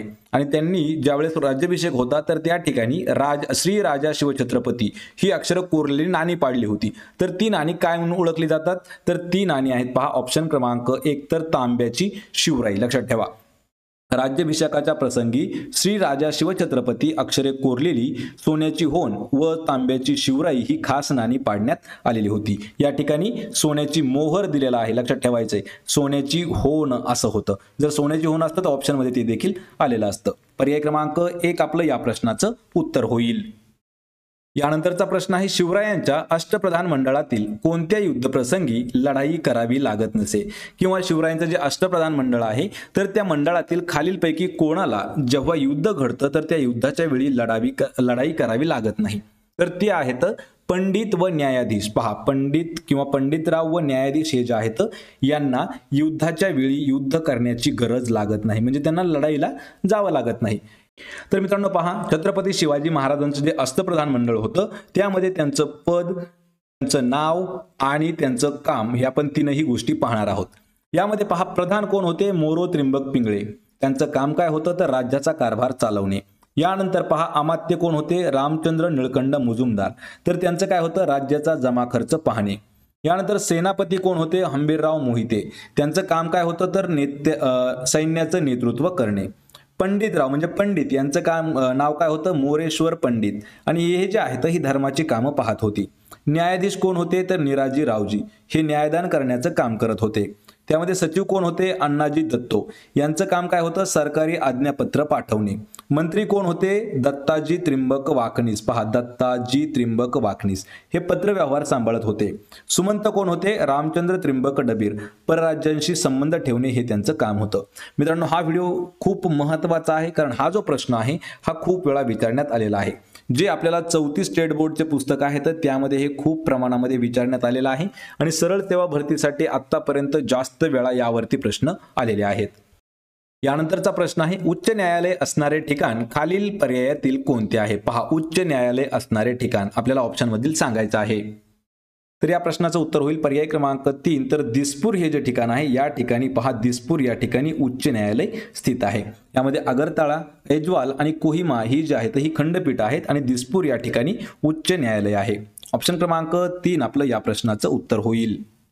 यानंतरचा प्रश्न आहे ब्रिटिश साम्राज्यातील भारतीयांना स्वराज्य मिळावे या मागणीसाठी महाराष्ट्रात होमरूळ चळवळ खालीलपैकी कोणी सुरू केली होती? पहा होमरूळ चळवळ जी आहे ही कशासाठी सुरू केली होती आणि कोणी सुरू केली? यावरती प्रश्न खूप वेळा विचारण्यात आलेला आहे. तर ती का केलेली आहे? ब्रिटिश राज्यातील किंवा साम्राज्यातील भारतीयांना स्वतःचं राज्य मिळावं या मागणीसाठी महाराष्ट्रामध्ये होमरूळ चळवळ जी आहे ती सुरू झाली होती आणि ती कोणी केली होती? तर पर्याय क्रमांक तीन तर बाळ गंगाधर टिळक यांनी होमरूळ चळवळ जी आहे ती सुरू केली होती. स्त्री शिक्षणासाठीचं जे कार्य आहे ते ज्योतिबा फुले यांनी केलेलं होतं. अस्पृश्यांसाठी कार्य कोणी केलं तर डॉक्टर बाबासाहेब आंबेडकर यांनी अस्पृश्यांसाठी कार्य केलं होतं. या प्रश्नाचं उत्तर काय होईल? ऑप्शन क्रमांक तीन. यानंतरचा प्रश्न आहे मानवी शरीरात रासायनिक संदेश वाहक म्हणून खालील म्हणून ओळखला जाणारा स्राव स्रवणाऱ्या ग्रंथी कोणत्या आहेत? पहा या ठिकाणी ग्लॅड्स म्हणजे काय तर आपल्याला ग्रंथी विचारलेल्या आहेत. म्हणजे काय? तर त्यामधून जो स्त्राव होतो तो तो स्त्रवत असतो ना त्या ग्रंथी कोणत्या आहेत? त्याचं उत्तर होईल पर्याय क्रमांक चार आउटू व जटर या ज्या ग्रंथी आहेत तर या ग्रंथी आपल्या मानवी शरीरामध्ये रासायनिक संदेश वाहक म्हणून ओळखला जाणारा जो स्राव आहे तर त्याचा स्राव स्रवणाऱ्या ज्या ग्रंथी आहेत त्या आहेत आउटू आणि जठर ऑप्शन क्रमांक चार आपलं या प्रश्नाचं उत्तर होईल. तर पहा आपला प्रश्न आहे खालीलपैकी कोणत्या भाषेला अभिजात भाषेचा दर्जा देण्यात आलेला आहे? पहा या ठिकाणी मराठी तामिळ संस्कृत ह्या ज्या तीन भाषा आहेत यापैकी अशी कोणती भाषा आहे की तिला अभिजात भाषेचा दर्जा देण्यात आलेला आहे? तर या प्रश्नाचं उत्तर होईल. पहा ऑप्शन क्रमांक चार तर वरील सर्व. या ठिकाणी सर्वात महत्त्वाचा पॉईंट आहे पहा मित्रांनो. कारण आपल्याला हा प्रश्न जर दोन हजार सोळा ते दोन हजार तेवीस पर्यंत जर विचारला तर त्यामध्ये मराठी भाषा जी आहे तिला अभिजात भाषेचा दर्जा देण्यात आलेला नव्हता. पण आत्ता आज आहे पहा बारा ऑक्टोबर आणि आत्ता सहा दिवसापूर्वी म्हणजे सात ते आठ ऑक्टोबरला मराठी भाषेला सुद्धा अभिजात भाषेचा दर्जा देण्यात आलेला आहे. हा प्रश्न थोडासा करंट अफेअरसाठी सुद्धा इम्पॉर्टंट असणार आहे.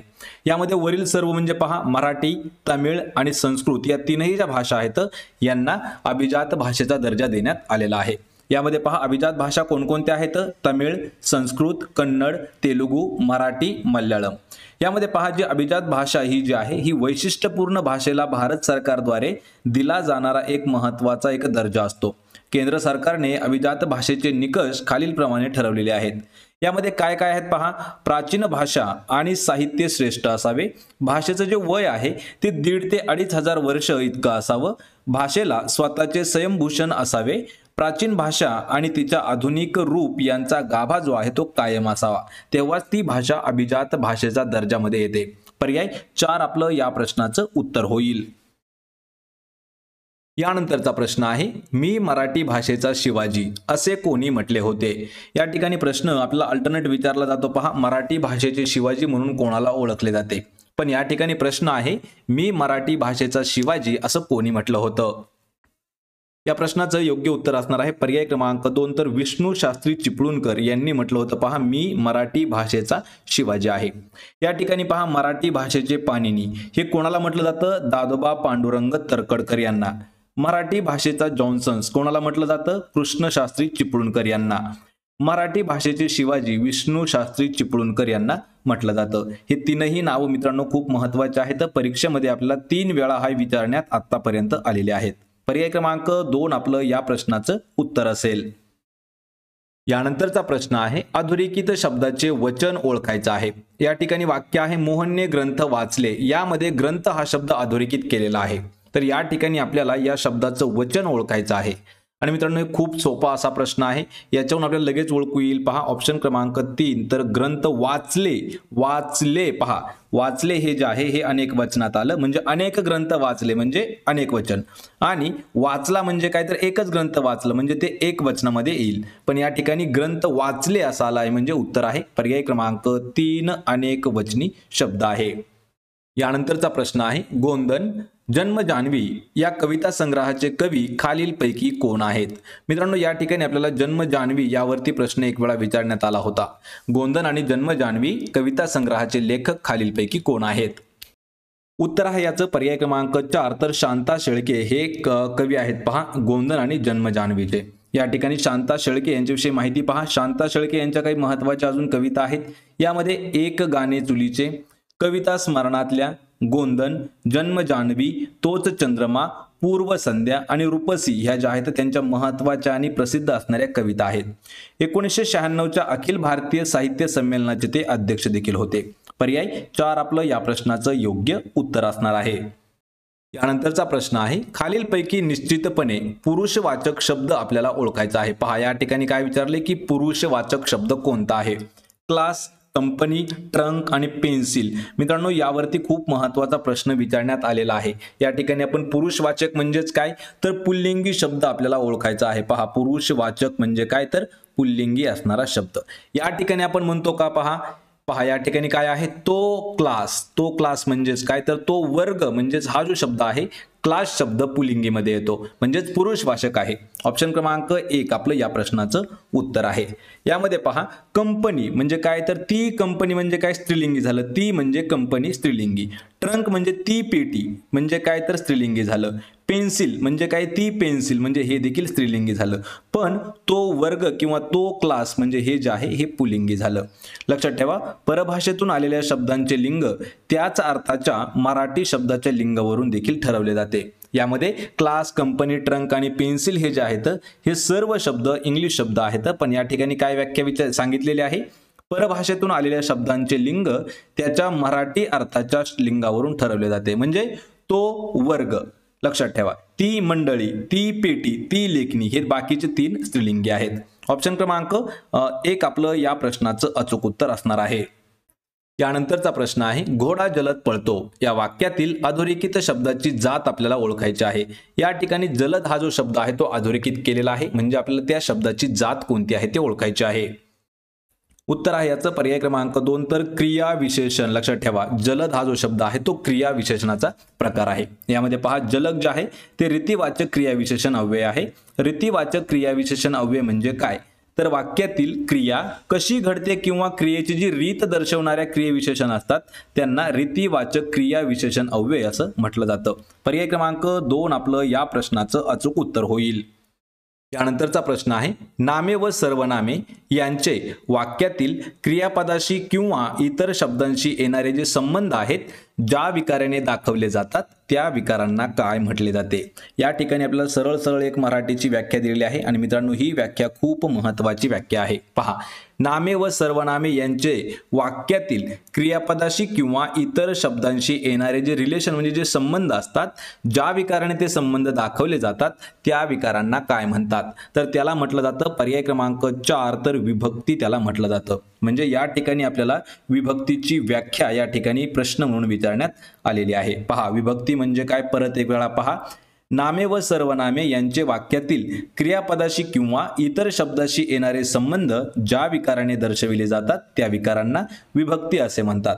आणि मराठीमध्ये विभक्तीचे एकूण आठ प्रकार पडतात. पहा कोणते कोणते? प्रथमा द्वितीया तृतीया चतुर्थी पंचमी षष्टी सप्तमी आणि संबोधन हे जे आहेत हे विभक्तीचे असणारे आठ प्रकार आहेत. ऑप्शन क्रमांक चार आपलं या प्रश्नाचं अचूक उत्तर असेल.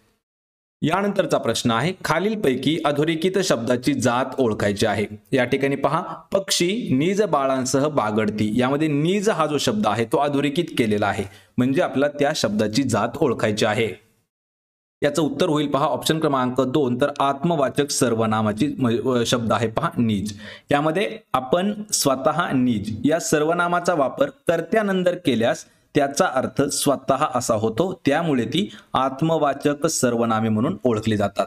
दिलेल्या वाक्यामधील पक्षी या कर्त्यानंतर ज्या आत्मवाचक सर्वनामांचा वापर केला आहे तो शब्द आहे नीज म्हणजेच हे आत्मवाचक सर्वनाम आहे. पर्याय क्रमांक दोन आपलं या प्रश्नाचं उत्तर होईल.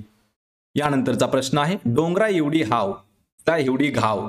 या म्हणीचा योग्य अर्थ कोणता आहे? पहा या ठिकाणी मित्रांनो म्हणी हा जो घटक आहे हा मराठी व्याकरणासाठी खूप इम्पॉर्टंट असणारा घटक आहे. यामध्ये तीन ते चार प्रश्न आपल्याला दरवर्षी विचारले जातात. पहा म्हण काय आहे? डोंगरा एवढी हाव तिळा एवढी धाव या म्हणीचा अर्थ काय असेल? तर या प्रश्नाचं उत्तर होईल. पर्याय क्रमांक तीन. तर महत्वाकांक्षा मोठी पण ती पूर्ण करण्याची जी कुवत आहे ती खूप कमी आहे किंवा कुवत नसणे. म्हणजेच काय? तर डोंगरा एवढी हाव आणि तिळा एवढी धाव. पर्याय तीन आपलं या प्रश्नाचं योग्य उत्तर होईल. मित्रांनो थोडासा एक महत्त्वाचा पॉईंट आहे तो समजून घ्या.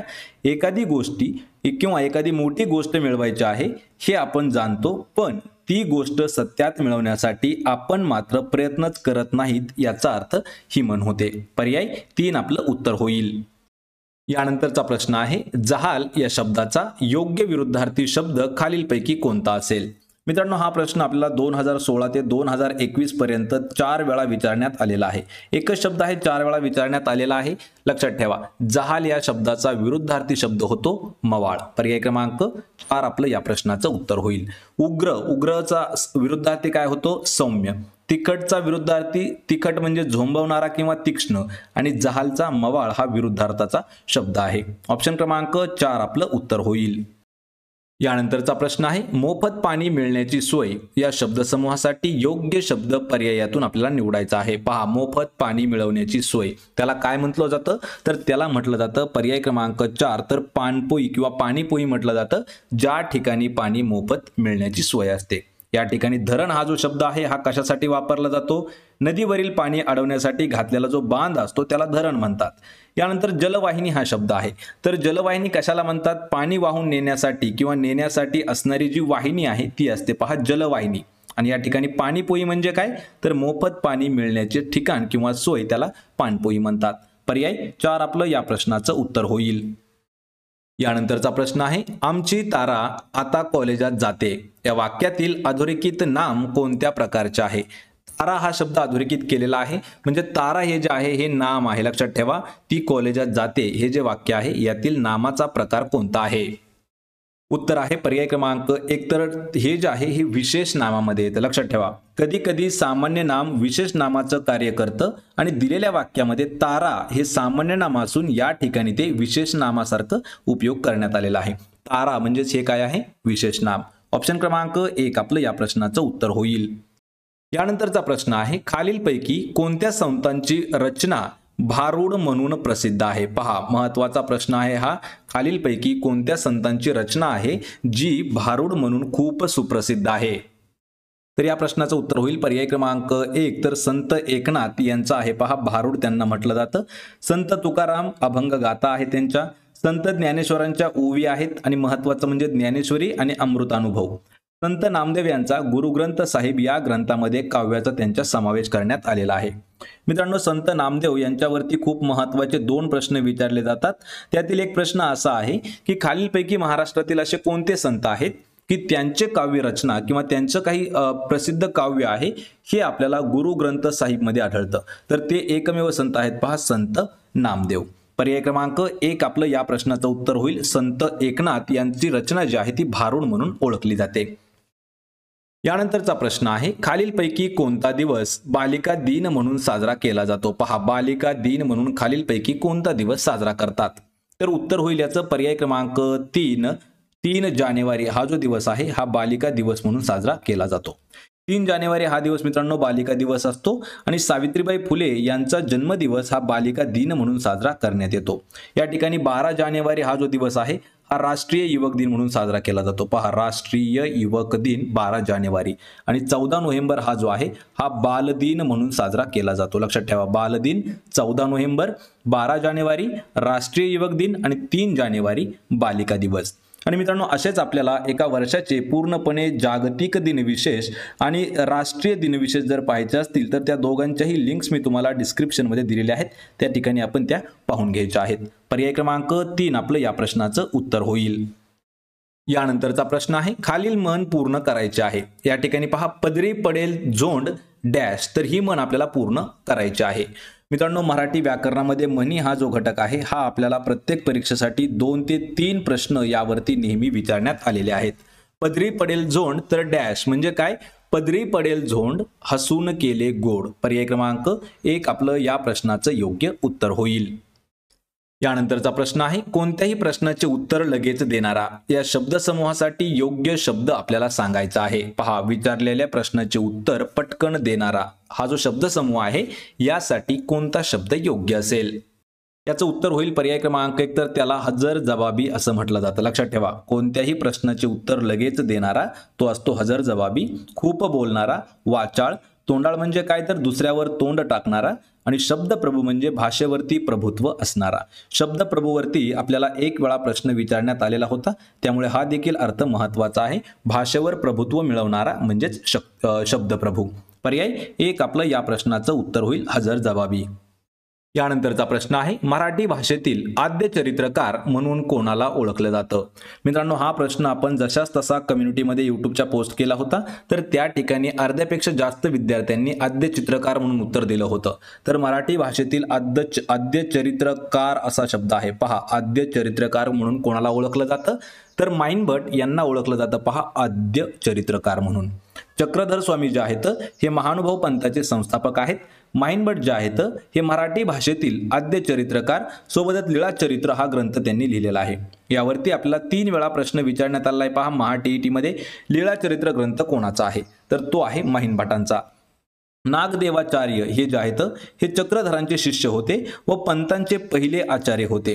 या ठिकाणी चार नंबरवरती आहे औसा. तर औसा हे जे आहेत हे महादाईसा म्हणजे त्यांना महादंबा म्हणतो. तर ह्या मराठी भाषेतील पहिली स्त्री कवयित्री औसा या नावाने ओळखली गेलेली आहे. पर्याय दोन आपलं या प्रश्नाचं अचूक उत्तर होईल.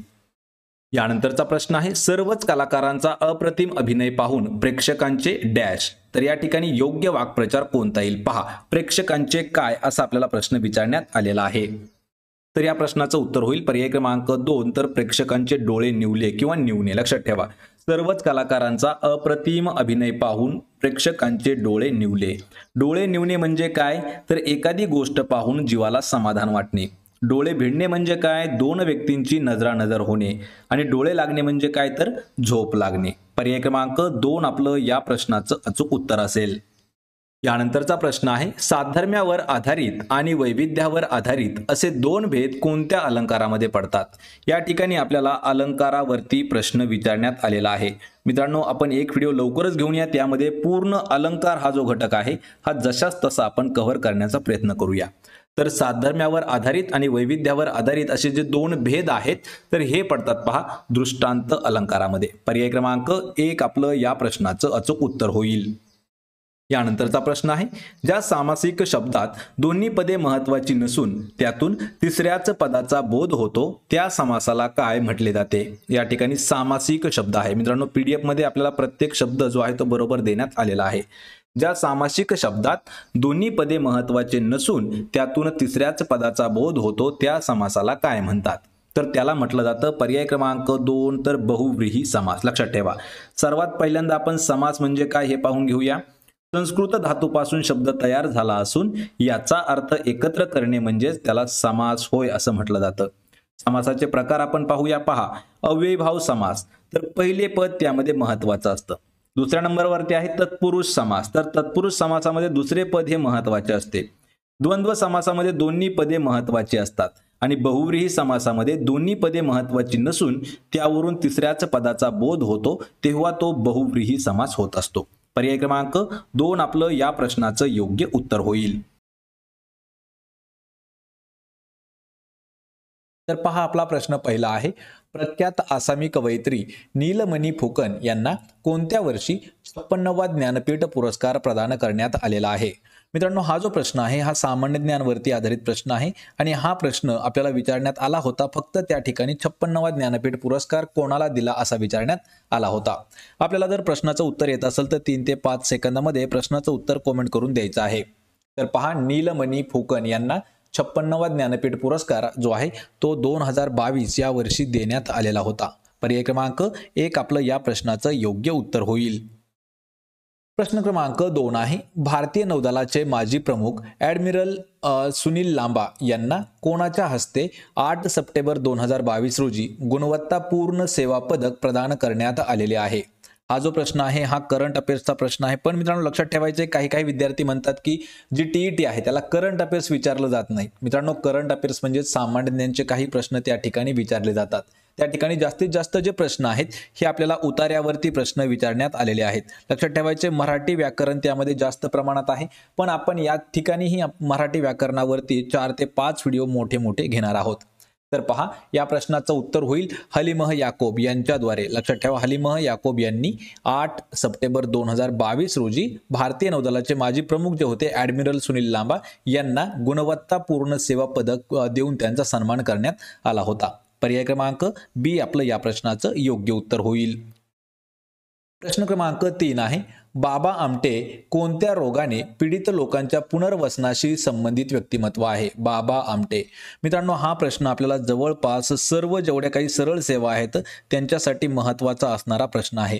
बाबा आमटे म्हणलं की लक्षात ठेवायचे कुष्ठरोग याशी संबंधित व्यक्तिमत्व आहे. पर्याय क्रमांक सी आपलं या प्रश्नाचं अचूक उत्तर होईल.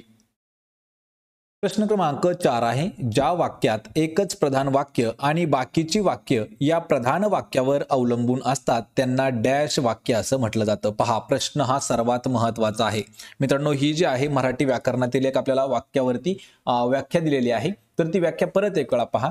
ज्या वाक्यात एकच प्रधान वाक्य असतं आणि बाकीची जी काही वाक्य असतात तर त्या प्रधान वाक्यावरती ती अवलंबून असतात. तर त्यावेळी कोणतं वाक्य असतं? तर त्यावेळी होतं ते मिश्र वाक्य. पर्याय क्रमांक ए आपलं या प्रश्नाचं योग्य उत्तर होईल. आणि मित्रांनो जे काही मराठी व्याकरण आहे मराठी व्याकरणावर आपण एक महत्त्वाचा व्हिडिओ घेतलेला आहे. त्याची लिंक मी तुम्हाला डिस्क्रिप्शनमध्ये देत आहे. पर्याय ए आपलं योग्य उत्तर होईल. प्रश्न क्रमांक पाचवा आहे. सन एकोणीसशे सदतीसमध्ये व्हेनिस चित्रपट महोत्सवात सगळ्यांच्या कौतुकास पात्र ठरलेला पहिला मराठी चित्रपट खालीलपैकी कोणता आहे? सर्व प्रश्न हे मित्रांनो इम्पॉर्टंट प्रश्न आहेत. लक्षात ठेवायचे त्यामुळे हा व्हिडिओ जो आहे हा महत्त्वाचा व्हिडिओ आहे. तर संत तुकाराम पर्याय क्रमांक चार आपलं हे योग्य उत्तर असणार आहे. लक्षात ठेवा कधी? एकोणीसशे सदतीस या वर्षी वेनिस चित्रपट महोत्सवामध्ये कौतुकास पात्र ठरलेला संत तुकाराम हा मराठी पहिला मराठी चित्रपट होता. पर्याय? डी आपलं या प्रश्नाचं अचूक उत्तर होईल. प्रश्न क्रमांक सहावा आहे गोल्डन ग्लोब पुरस्कार. याची सुरुवात कोणत्या वर्षापासून करण्यात आलेली आहे? गोल्डन ग्लोब पुरस्कार याची जी सुरुवात आहे ही एकोणीसशे चौवेचाळीस या वर्षापासून करण्यात आलेली आहे. मित्रांनो हा प्रश्न थोडासा इम्पॉर्टंट आहे कारण दोन हजार तेवीसला यावरती प्रश्न विचारण्यात आले होते. आणि हे जे प्रश्न आहेत हे आपल्याला पोलीस भरतीमध्ये विचारण्यात आलेले होते. लक्षात ठेवायचे यातील जे काही सामान्य ज्ञान आहे आणि आपण महत्त्वाचं म्हणजे सांगायचं मित्रांनो जी काही टी टी असणार आहे दोन हजार चोवीसची तर त्या अनुषंगाने जे मानसशास्त्र आहे. मानसशास्त्र आणि बालकशास्त्र यावरती जवळपास दोनशे पेक्षा जास्त प्रश्नांचा एकच व्हिडिओ लवकरच घेऊन येणार आहोत. पर्याय या प्रश्नाचं एक आपलं उत्तर होईल. प्रश्न क्रमांक सातवा आहे. महाराष्ट्र राज्यातील जिल्हा परिषदेची एकूण संख्या किती आहे? पहा या ठिकाणी आपल्याला दोन प्रश्न लक्षात ठेवायचे आहेत. महाराष्ट्रात एकूण जिल्हे किती आहेत? तर एकूण जिल्हे आहेत छत्तीस जिल्हे. छत्तीसावा जिल्हा जो आहे तो आहे पहा शेवटचा पालघर. या ठिकाणी प्रश्न काय विचारले की राज्यामध्ये आपल्या एकूण किती जिल्हा परिषद आहेत? तर टोटल जिल्हा परिषद आहेत पहा चौतीस. पर्याय क्रमांक सी आपलं या प्रश्नाचं योग्य उत्तर होईल. चौतीस जिल्हा परिषद आहेत आणि छत्तीस जिल्हे आहेत. लक्षात ठेवा छत्तीस किती आहेत? जिल्हे आणि जिल्हा परिषद किती आहेत? चौतीस. प्रश्न क्रमांक आठवा आहे. खालीलपैकी कोणते लेखक हे कुसुमाग्रज म्हणूनही ओळखले जाते? या ठिकाणी पहा प्रश्न असा विचारला आहे की कुसुमाग्रज हे जे नाव आहे हे कोणत्या लेखकाचं टोपण नाव आहे? तर हे नाव आहे पहा. वी वा शिरवाडकर आपल्याला कधी कधी येऊ शकतं किंवा कधी कधी विष्णू वामन शिरवाडकर हे आपलं योग्य उत्तर होईल. लक्षात ठेवा. वी वा शिरवाडकर यांचा जो फुल फॉर्म आहे वी वा शिरवाडकर. तर त्यांनाच म्हटलं जातं पहा विष्णू वामन शिरवाडकर. आणि त्यांचं टोपण नाव जे आहे म्हणजे त्यांनी मराठी साहित्यात जे काही काम केलं ते कुसुमाग्रज या नावाने केलेलं आहे. पर्याय क्रमांक बी आपलं या प्रश्नाचं उत्तर होईल. प्रश्न क्रमांक नववा आहे महाराष्ट्राच्या कोणत्या जिल्ह्यात फणसाड वन्यजीव अभयारण्य स्थित आहे? पहा फणसाड वन्यजीव अभयारण्य कोणत्या जिल्ह्यामध्ये स्थित आहे? तर या प्रश्नाचं अचूक उत्तर होईल. पर्याय क्रमांक चार. तर रायगड हा जो जिल्हा आहे कोणता? रायगड जिल्हा. तर रायगड या जिल्ह्यामध्ये आहे पहा फणसाड वन्यजीव अभयारण्य. पर्याय क्रमांक चार आपलं या प्रश्नाचं उत्तर होईल. प्रश्न क्रमांक दहा आहे महाराष्ट्र राज्यात कोणत्या साली लोकायुक्त संस्थेची स्थापना करण्यात आली आहे. पहा लोक आयुक्त संस्था याची जी स्थापना आहे ही आपल्या राज्यामध्ये कोणत्या वर्षी करण्यात आली? मित्रांनो हा प्रश्न आपल्याला एम पी एसमध्ये सुद्धा विचारण्यात आलेला प्रश्न होता. लक्षात ठेवा लोकायुक्त संस्था जी आहे याची जी स्थापना आहे ही एकोणीसशे बहात्तर या वर्षी करण्यात आलेली आहे. यावरती आपण कम्युनिटीमध्ये प्रश्न घेतला होता. तर त्यातील जवळपास चोवीस टक्के जे विद्यार्थी होते त्यांनी एकोणीसशे सत्तावीस हे उत्तर लिहिलं होतं. लक्षात ठेवा एकोणीसशे बहात्तर या वर्षी करण्यात आलेली आहे लोकायुक्त संस्थेची स्थापना. पर्याय क्रमांक बी आपलं या प्रश्नाचं योग्य उत्तर होईल. प्रश्न क्रमांक अकरा आहे. बळी तो कानपिळी या म्हणीतून कोणत्या गोष्टीचे महत्त्व सुचवले आहे? पहा बळी तो कानपिळी म्हणजे या ठिकाणी काय दाखवलं आहे? थोडासा सामर्थ्य म्हणजेच पर्याय क्रमांक चार आपलं या प्रश्नाचं योग्य उत्तर होईल. बळी तो कानपिळी यामधून आपल्याला सामर्थ्य किंवा शक्ती ही दिसून येते. ऑप्शन क्रमांक चार. प्रश्न क्रमांक बारा आहे. जागतिक संगणक साक्षरता दिवस म्हणून खालीलपैकी कोणता दिवस साजरा केला जातो? जागतिक साक्षरता दिवस. तर मित्रांनो हा जो प्रश्न आहे हा प्रश्न आपल्याला भरपूर वेळा विचारण्यात आलेला आहे. आणि यावरती आपण इम्पॉर्टंट असे प्रश्न देखील घेणार आहोत. जेवढे काही दिनविशेष आहेत जागतिक दिनविशेष असू किंवा राष्ट्रीय दिनविशेष असू त्यावरती आपण मंथ वाईज एक एक व्हिडिओ घेतलेला आहे. आणि सोबतच एका वर्षाचं पूर्ण जागतिक म्हणजेच जे दिनविशेष आहेत ते देखील घेतलेले आहेत. त्या सर्वांच्या लिंक्स मी तुम्हाला डिस्क्रिप्शनमध्ये देत आहे. तर पहा जागतिक संगणक साक्षरता दिवस म्हणून दोन डिसेंबर हा दिवस पाळला जातो किंवा साजरा केला जातो. पर्याय क्रमांक एक आपलं या प्रश्नाचं अचूक उत्तर होईल. प्रश्न क्रमांक तेरा आहे एकच प्याला. या सुप्रसिद्ध मराठी नाटकाचे लेखक खालीलपैकी कोण आहेत? मित्रांनो मराठीमधील सर्वात प्रसिद्ध असलेलं नाटक आहे पहा एकच प्याला. तर एकच प्याला या नाटकाचे लेखक आपल्याला विचारले आहेत. कारण हे जे प्रश्न आहेत हे सर्व प्रश्न आपण जवळपास मराठीवर डिपेंड असणारे प्रश्न घेत आहोत. तर एकच प्याला याचे लेखक आहेत राम गणेश गडकरी. पर्याय क्रमांक सी आपलं या प्रश्नाचं योग्य उत्तर होईल. या ठिकाणी हा देखील प्रश्न आपण कम्युनिटीमध्ये घेतला होता. तर त्या ठिकाणी मित्रांनो उत्तर लिहिलं होतं काही पोरांनी तर वी वा शिरवाडकर. लक्षात ठेवा. पण उत्तर आहे राम गणेश गडकरी. पर्याय सी आपलं उत्तर होईल. प्रश्न क्रमांक चौदा आहे. भूगोल या शब्दाला इक प्रत्यय जोडल्यावर कोणता शब्द तयार होईल? पहा या ठिकाणी एक मूळ शब्द दिलेला आहे. मूळ शब्द काय आहे? तर भूगोल हा शब्द आहे. आणि याला प्रत्यय कोणता जोडायचा आहे? इक म्हणजेच काय तो शब्द होईल पहा? भौगोलिक. ऑप्शन क्रमांक ए आपलं या प्रश्नाचं योग्य उत्तर होईल. पहा भौगोलिक. भूगोल अधिक इक म्हणजेच भौगोलिक. पर्याय ए आपलं योग्य उत्तर होईल. प्रश्न क्रमांक पंधरावा आहे. समाजातील दुर्बल घटकांना शिक्षण देण्याकरिता पीपल्स एज्युकेशन सोसायटीची स्थापना खालीलपैकी कोणी केली होती? या ठिकाणी मित्रांनो सर्वात महत्त्वाचं म्हणजे इतिहासावर आपल्याला जेवढ्या काही स्थापन झालेल्या संस्था आहेत आणि त्या संस्थांचे संस्थापक जे आहेत यावरती नेहमी प्रश्न विचारण्यात आलेले आहेत. त्यापैकीच हा एक प्रश्न आहे की पीपल्स एज्युकेशन सोसायटी याची स्थापना कोणी केली आहे? तर कोणी केली आहे? डॉक्टर बाबासाहेब आंबेडकर. पर्याय क्रमांक बी आपलं या प्रश्नाचं योग्य उत्तर असणार आहे. प्रश्न क्रमांक सोळा आहे. भारत सरकारचे आदिवासी कल्याण मंत्रालय कोणत्या वर्षी स्थापन करण्यात आलेले आहे? आदिवासी कल्याण मंत्रालय. पर्याय क्रमांक किती असणार आहे आपल्याला? कॉमेंट करून लवकर लवकर मित्रांनो उत्तर देत राहा. तर आदिवासी कल्याण मंत्रालय याची जी स्थापना आहे ही पर्याय क्रमांक ए तर एकोणीसशे नव्याण्णव या वर्षी करण्यात आलेली आहे. पर्याय क्रमांक ए आपलं या प्रश्नाचं अचूक उत्तर होईल. प्रश्न क्रमांक सतरावा आहे पंढरपुरातील विठ्ठल मंदिराच्या समोर कोणत्या संतांची समाधी आहे? मित्रांनो हा प्रश्न इम्पॉर्टंट आहे कारण ज्या ज्यावेळी पंढरपूरची वारी असते त्या त्यावेळी त्या संताच्या समाधीवर जाणं हे आवश्यक मानलं जातं. तर तो संत कोणता आहे की ज्यांची समाधी ही पंढरपुरातील जे विठ्ठल मंदिर आहे त्याच्या अगदी समोर आहे? तर या प्रश्नाचं उत्तर होईल. पर्याय क्रमांक सी तर संत चोखा मेळा पहा संत चोखा मेळा यांची समाधी विठ्ठल मंदिराच्या समोर आहे आणि विठ्ठल मंदिर जे आहे ते पंढरपूर या ठिकाणी स्थित आहे. पर्याय क्रमांक सी आपलं या प्रश्नाचं योग्य उत्तर होईल. प्रश्न क्रमांक अठरा आहे. शाश्वत या शब्दाचा विरुद्धार्थी शब्द कोणता आहे? पहा शाश्वत या शब्दाचा विरुद्धार्थी शब्द. मित्रांनो आपण दोनशे पेक्षा जास्त समानार्थी आणि दोनशे पेक्षा जास्त विरुद्धार्थी असे जवळपास परीक्षेत विचारले जाणारे चारशे पेक्षा जास्त शब्द जे आहेत ते घेतलेले आहेत. त्या व्हिडिओची लिंक्स मी तुम्हाला डिस्क्रिप्शनमध्ये देत आहे. त्या ठिकाणी जाऊन ते व्हिडिओ देखील पाहून घ्या. तर शाश्वत या शब्दाला विरुद्धार्थी शब्द होतो पहा नश्वर. ऑप्शन क्रमांक डी या प्रश्नाचं योग्य उत्तर होईल. प्रश्न क्रमांक एकोणवीस आहे. डॅश हे पहिल्या महायुद्धात दारातीर्थी पडलेल्या भारतीय सैनिकांचं स्मृतीस्थळ आहे. पहा. म्हणजे खालीलपैकी असं कोणतं ठिकाण आहे की जे पहिल्या महायुद्धात मरण पावलेले किंवा मृत्युमुखी पडलेले जे भारतीय सैनिक होते त्यांचं स्मृतीस्थळ आहे. तर ते आहे पहा मित्रांनो इंडिया गेट. पर्याय क्रमांक दोन आपलं या प्रश्नाचं योग्य उत्तर असणार आहे. हा प्रश्न आपल्याला पोलीस भरतीमध्ये सुद्धा विचारण्यात आलेला होता. त्यामुळे हा प्रश्न थोडासा इम्पॉर्टंट आहे.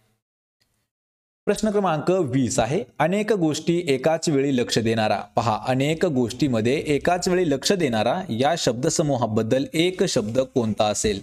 मित्रांनो यामध्ये आपण भरपूर प्रश्न जे आहेत हे मराठी व्याकरणावर आधारित घेतलेले आहेत. आणि यानंतर जो आपण एक व्हिडिओ घेणार आहोत त्यामध्ये जवळपास शंभर प्रश्न जे आहेत फक्त आणि फक्त मराठी व्याकरणावर आधारित घेणार आहोत. तर एकाच वेळी अनेक गोष्टीमध्ये लक्ष देणारा हा जो शब्दसमूह आहे तर याला म्हटलं जातं अष्टावधानी. पर्याय क्रमांक सी आपलं या प्रश्नाचं योग्य उत्तर होईल. मित्रांनो हा प्रश्न थोडासा इम्पॉर्टंट आहे. कारण शब्दसमूहाबद्दल एक शब्द हा जो आहे हा प्रत्येक सरळ सेवा स्पर्धेमध्ये आपल्याला विचारण्यातच जाणारा एक घटक आहे. त्यामुळे अशा पद्धतीचे जे शब्दसमूह आहेत हे आपल्याला जर दोनशे पेक्षा जास्त पाहायचे असतील तर त्याची लिंक मी तुम्हाला डिस्क्रिप्शनमध्ये देत आहे. पर्याय सी आपलं या प्रश्नाचं उत्तर होईल. तर पहा आपला प्रश्न पहिला आहे. सातारा जिल्ह्यामधील भांबावली वज्राई धबधब्यामधून खालीलपैकी कोणती नदीचा उगम होतो? मित्रांनो हा प्रश्न महत्त्वाचा आहे. आणि प्रत्येक प्रश्नाचं उत्तर आपल्याला येत असेल तर तीन ते पाच सेकंदामध्ये कॉमेंट करून उत्तर देण्याचा प्रयत्न करायचा आहे. तर पहा या ठिकाणी प्रश्न काय आहे? सातारा जिल्ह्यामधील कोणती धबधबा आहे? तर भांबावली वज्राई हा धबधबा आहे. आणि यामधून उगम पावणारी नदी खालीलपैकी कोणती आहे? तर त्या नदीचं नाव आहे पहा मित्रांनो पर्याय क्रमांक चार. तर उरमोडी ही जी नदी आहे ही सातारा जिल्ह्यातील भांबावली वज्राई धबधब्यातून उगम पावते. ऑप्शन क्रमांक डी आपलं या प्रश्नाचं उत्तर होईल. प्रश्न क्रमांक दोन आहे. अजिम प्रेमजी हे खालीलपैकी कोणत्या आय टी कंपनीचे संस्थापक आहेत? या ठिकाणी पहा आपल्याला आय टी कंपनी दिलेली आहे आणि तिचे संस्थापक विचारलेले आहे. अशा काही आपल्याला परीक्षेमध्ये सहा ते सात कंपन्या आहेत. त्यांचे आपल्याला संस्थापक नेहमी हे विचारले जातात. त्याही कंपन्यांची लिस्ट मी लवकरच तुम्हाला शॉर्ट व्हिडिओच्या माध्यमातून देऊ टाकतो. तर पहा अजिम प्रेमजी हे जे आहेत मित्रांनो हे विप्रो या कंपनीचे संस्थापक आहेत. पर्याय क्रमांक सी आपलं या प्रश्नाचं योग्य उत्तर होईल. या ठिकाणी पहा डेल कंपनी जी आहे ही लॅपटॉप बनवणारी कंपनी आहे किंवा त्याचे जे इलेक्ट्रॉनिक गॅजेट्स आहेत ती बनवणारी कंपनी आहे. तर डेल कंपनीचे मालक संस्थापक आहेत पहा मायकल डेल यानंतर इन्फोसिस ही जी कंपनी आहे तर इन्फोसिसचे संस्थापक आहेत नारायण मूर्ती. नारायण मूर्ती हे जे आहेत हे इन्फोसिस कंपनीचे संस्थापक आहेत. विप्रो कंपनीचे संस्थापक अजिम प्रेमजी अजिम प्रेमजी. आणि मायक्रोसॉफ्ट या कंपनीचे संस्थापक आहेत पहा बिल गेट्स या ठिकाणी आपल्याला अजून दोन कंपन्या दिलेल्या जातात. पहिली आहे पहा फेसबुक फेसबुक कंपनी दिली जाते. तर फेसबुक कंपनीचे मालक आहेत पहा मार्क झकेरबर्ग. आणि अजून एक कंपनी दिलेली जाते पहा आपल्याला ॲप्पल कंपनी तर ॲप्पल कंपनीचे संस्थापक जे आहेत ते होते पहा स्टीव जॉब्स या ठिकाणी हे पाच ते सहा जे संस्थापक आहेत आणि त्यांच्या मोठ्या ज्या कंपन्या आहेत त्यावर थोडंसं लक्ष द्यायचं आहे. पर्याय सी आपलं उत्तर होईल. प्रश्न क्रमांक तीन आहे. अर्धचंद्र मिळणे या वाक्प्रचाराचा योग्य अर्थ खालीलपैकी काय आहे? पहा अर्धचंद्र मिळणे. यावरही मित्रांनो आपल्याला जवळपास सोळा ते सतरा वेळा हा प्रश्न विचारण्यात आलेला आहे. अर्धचंद्र मिळणे म्हणजेच काय? तर एखाद्या गोष्टीची हकालपट्टी करणे. पर्याय क्रमांक डी आपलं या प्रश्नाचं योग्य उत्तर असणार आहे. हा प्रश्न थोडासा मित्रांनो इम्पॉर्टंट आहे. यामध्ये काही लोक म्हणतात अर्धचंद्र मिळणे म्हणजे काम अपूर्ण होणे. पण एखाद्या गोष्टीची हकालपट्टी करणे म्हणजेच अर्धचंद्र मिळणे. पर्याय डी आपलं योग्य उत्तर होईल. आणि अशाच पद्धतीचे आपल्याला दोनशेपेक्षा जर जास्त वाक्प्रचार म्हणी समानार्थी शब्द विरुद्धार्थी शब्द पाहायचे असतील तर सर्वांच्या लिंक्स मी तुम्हाला डिस्क्रिप्शनमध्ये देत आहे. प्रश्न क्रमांक चार आहे व्यापक प्रादेशिक आर्थिक भागीदारी म्हणजेच आर सी ई पी कधीपासून अंमलात आणण्यात आलेली आहे? पहा व्यापक प्रादेशिक आर्थिक भागीदारी जी आहे ही कोणत्या वर्षापासून किंवा कोणत्या दिवशीपासून अंमलात आणलेली आहे? तर या प्रश्नाचं अचूक उत्तर होईल. पर्याय क्रमांक दोन तर एक जानेवारी दोन हजार बावीस या दिवसापासून आर सी ई पी म्हणजेच व्यापक प्रादेशिक आर्थिक भागीदारी ही जी आहे ही अंमलात आणलेली आहे. पर्याय क्रमांक दोन आपलं या प्रश्नाचं योग्य उत्तर होईल. प्रश्न क्रमांक बार प्रश्न क्रमांक पाच आहे. मराठी भाषा खालीलपैकी कोणत्या लिपीमध्ये लिहिली जाते? मराठीवरचा सर्वात सोपा प्रश्न आहे आणि भरपूर वेळा विचारण्यात आलेला हा महत्त्वाचा प्रश्न आहे. मराठी व्याकरण शिक्षक भरतीसाठी सर्वात महत्त्वाचा घटक आहे. पहा मराठी भाषा ही जी भाषा आहे तर ही लिहिली जाते. पहा देवनागरी या लिपीमध्ये. पर्याय क्रमांक एक आपलं या प्रश्नाचं योग्य उत्तर होईल. लक्षात ठेवायचंय भाषा आणि लिपी ह्या वेगवेगळ्या दोन पद्धती आहेत. भाषा आणि लिपी आणि कोणत्या लिपीमध्ये कोणती भाषा? तर मराठी भाषा देवनागरी लिपीमध्ये. पर्याय एक आपलं उत्तर होईल. प्रश्न क्रमांक सहा आहे. प्रश्नात दिलेल्या शब्दास विरुद्ध अर्थाचा शब्द दिलेल्या पर्यायातून निवडायचा आहे. या ठिकाणी क्षणिक हा शब्द दिलेला आहे. तर या क्षणिकचा आपल्याला विरुद्ध अर्थाचा शब्द कोणता आहे हे कमेंट करून सांगायचं आहे. मित्रांनो विरुद्धार्थी आणि समानार्थी शब्द हे असे दोन घटक आहेत की त्यामध्ये आपल्याला दोन ते तीन जे मार्क्स आहेत हे पक्के आणि फिक्स मार्क्स असतात. त्यामुळे यावरती विद्यार्थ्यांनी थोडीशी भर द्यायची आहे. लक्षात ठेवा क्षणिक या शब्दाचा विरुद्ध अर्थाचा शब्द कोणता होतो? तर तो होतो ऑप्शन क्रमांक सी निरंतर. पर्याय तीन आपलं या प्रश्नाचं उत्तर होईल. प्रश्न क्रमांक सातवा आहे गांधार शिल्पशैली. ही कोणत्या दोन देशांच्या शिल्पशैलीतून निर्माण करण्यात आलेली आहे? पहा गांधार शिल्पशैली ही कोणत्या दोन देशांच्या शिल्पशैलीतून निर्माण झालेली एक शिल्पशैली आहे? तर या प्रश्नाचं उत्तर होईल पर्याय क्रमांक बी भारत व ग्रीस. लक्षात ठेवा.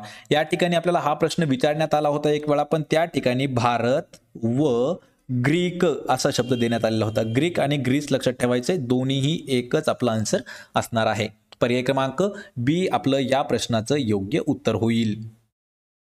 प्रश्न क्रमांक आठवा आहे. स्थानिक स्वराज्य संस्थांना अधिकाधिक आर्थिक सहाय्य देणारा अठराशे सत्तरमध्ये आर्थिक विकेंद्रीकरणाचा ठराव खालीलपैकी कोणी संमत केला होता? लक्षात ठेवा यावरती दोन प्रश्न मित्रांनो तयार होतात. आर्थिक विकेंद्रीकरणाचा ठराव कधी संमत केला? तर अठराशे सत्तर यावर्षी. दुसरा प्रश्न कोणता आहे? की तो कोणी संमत केला?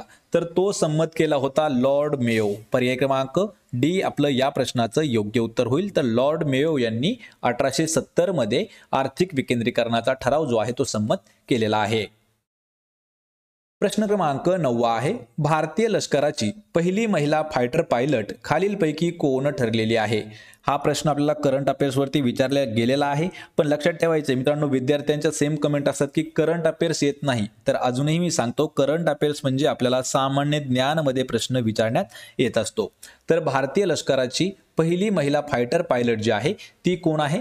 तर या प्रश्नाचं उत्तर होईल. पर्याय क्रमांक आहे तर कॅप्टन अभिलाषा बराक ह्या ज्या आहेत ह्या पहिल्या महिला फायटर पायलट भारतीय लष्कराच्या बनलेल्या आहेत. पर्याय ए आपलं या प्रश्नाचं योग्य उत्तर होईल.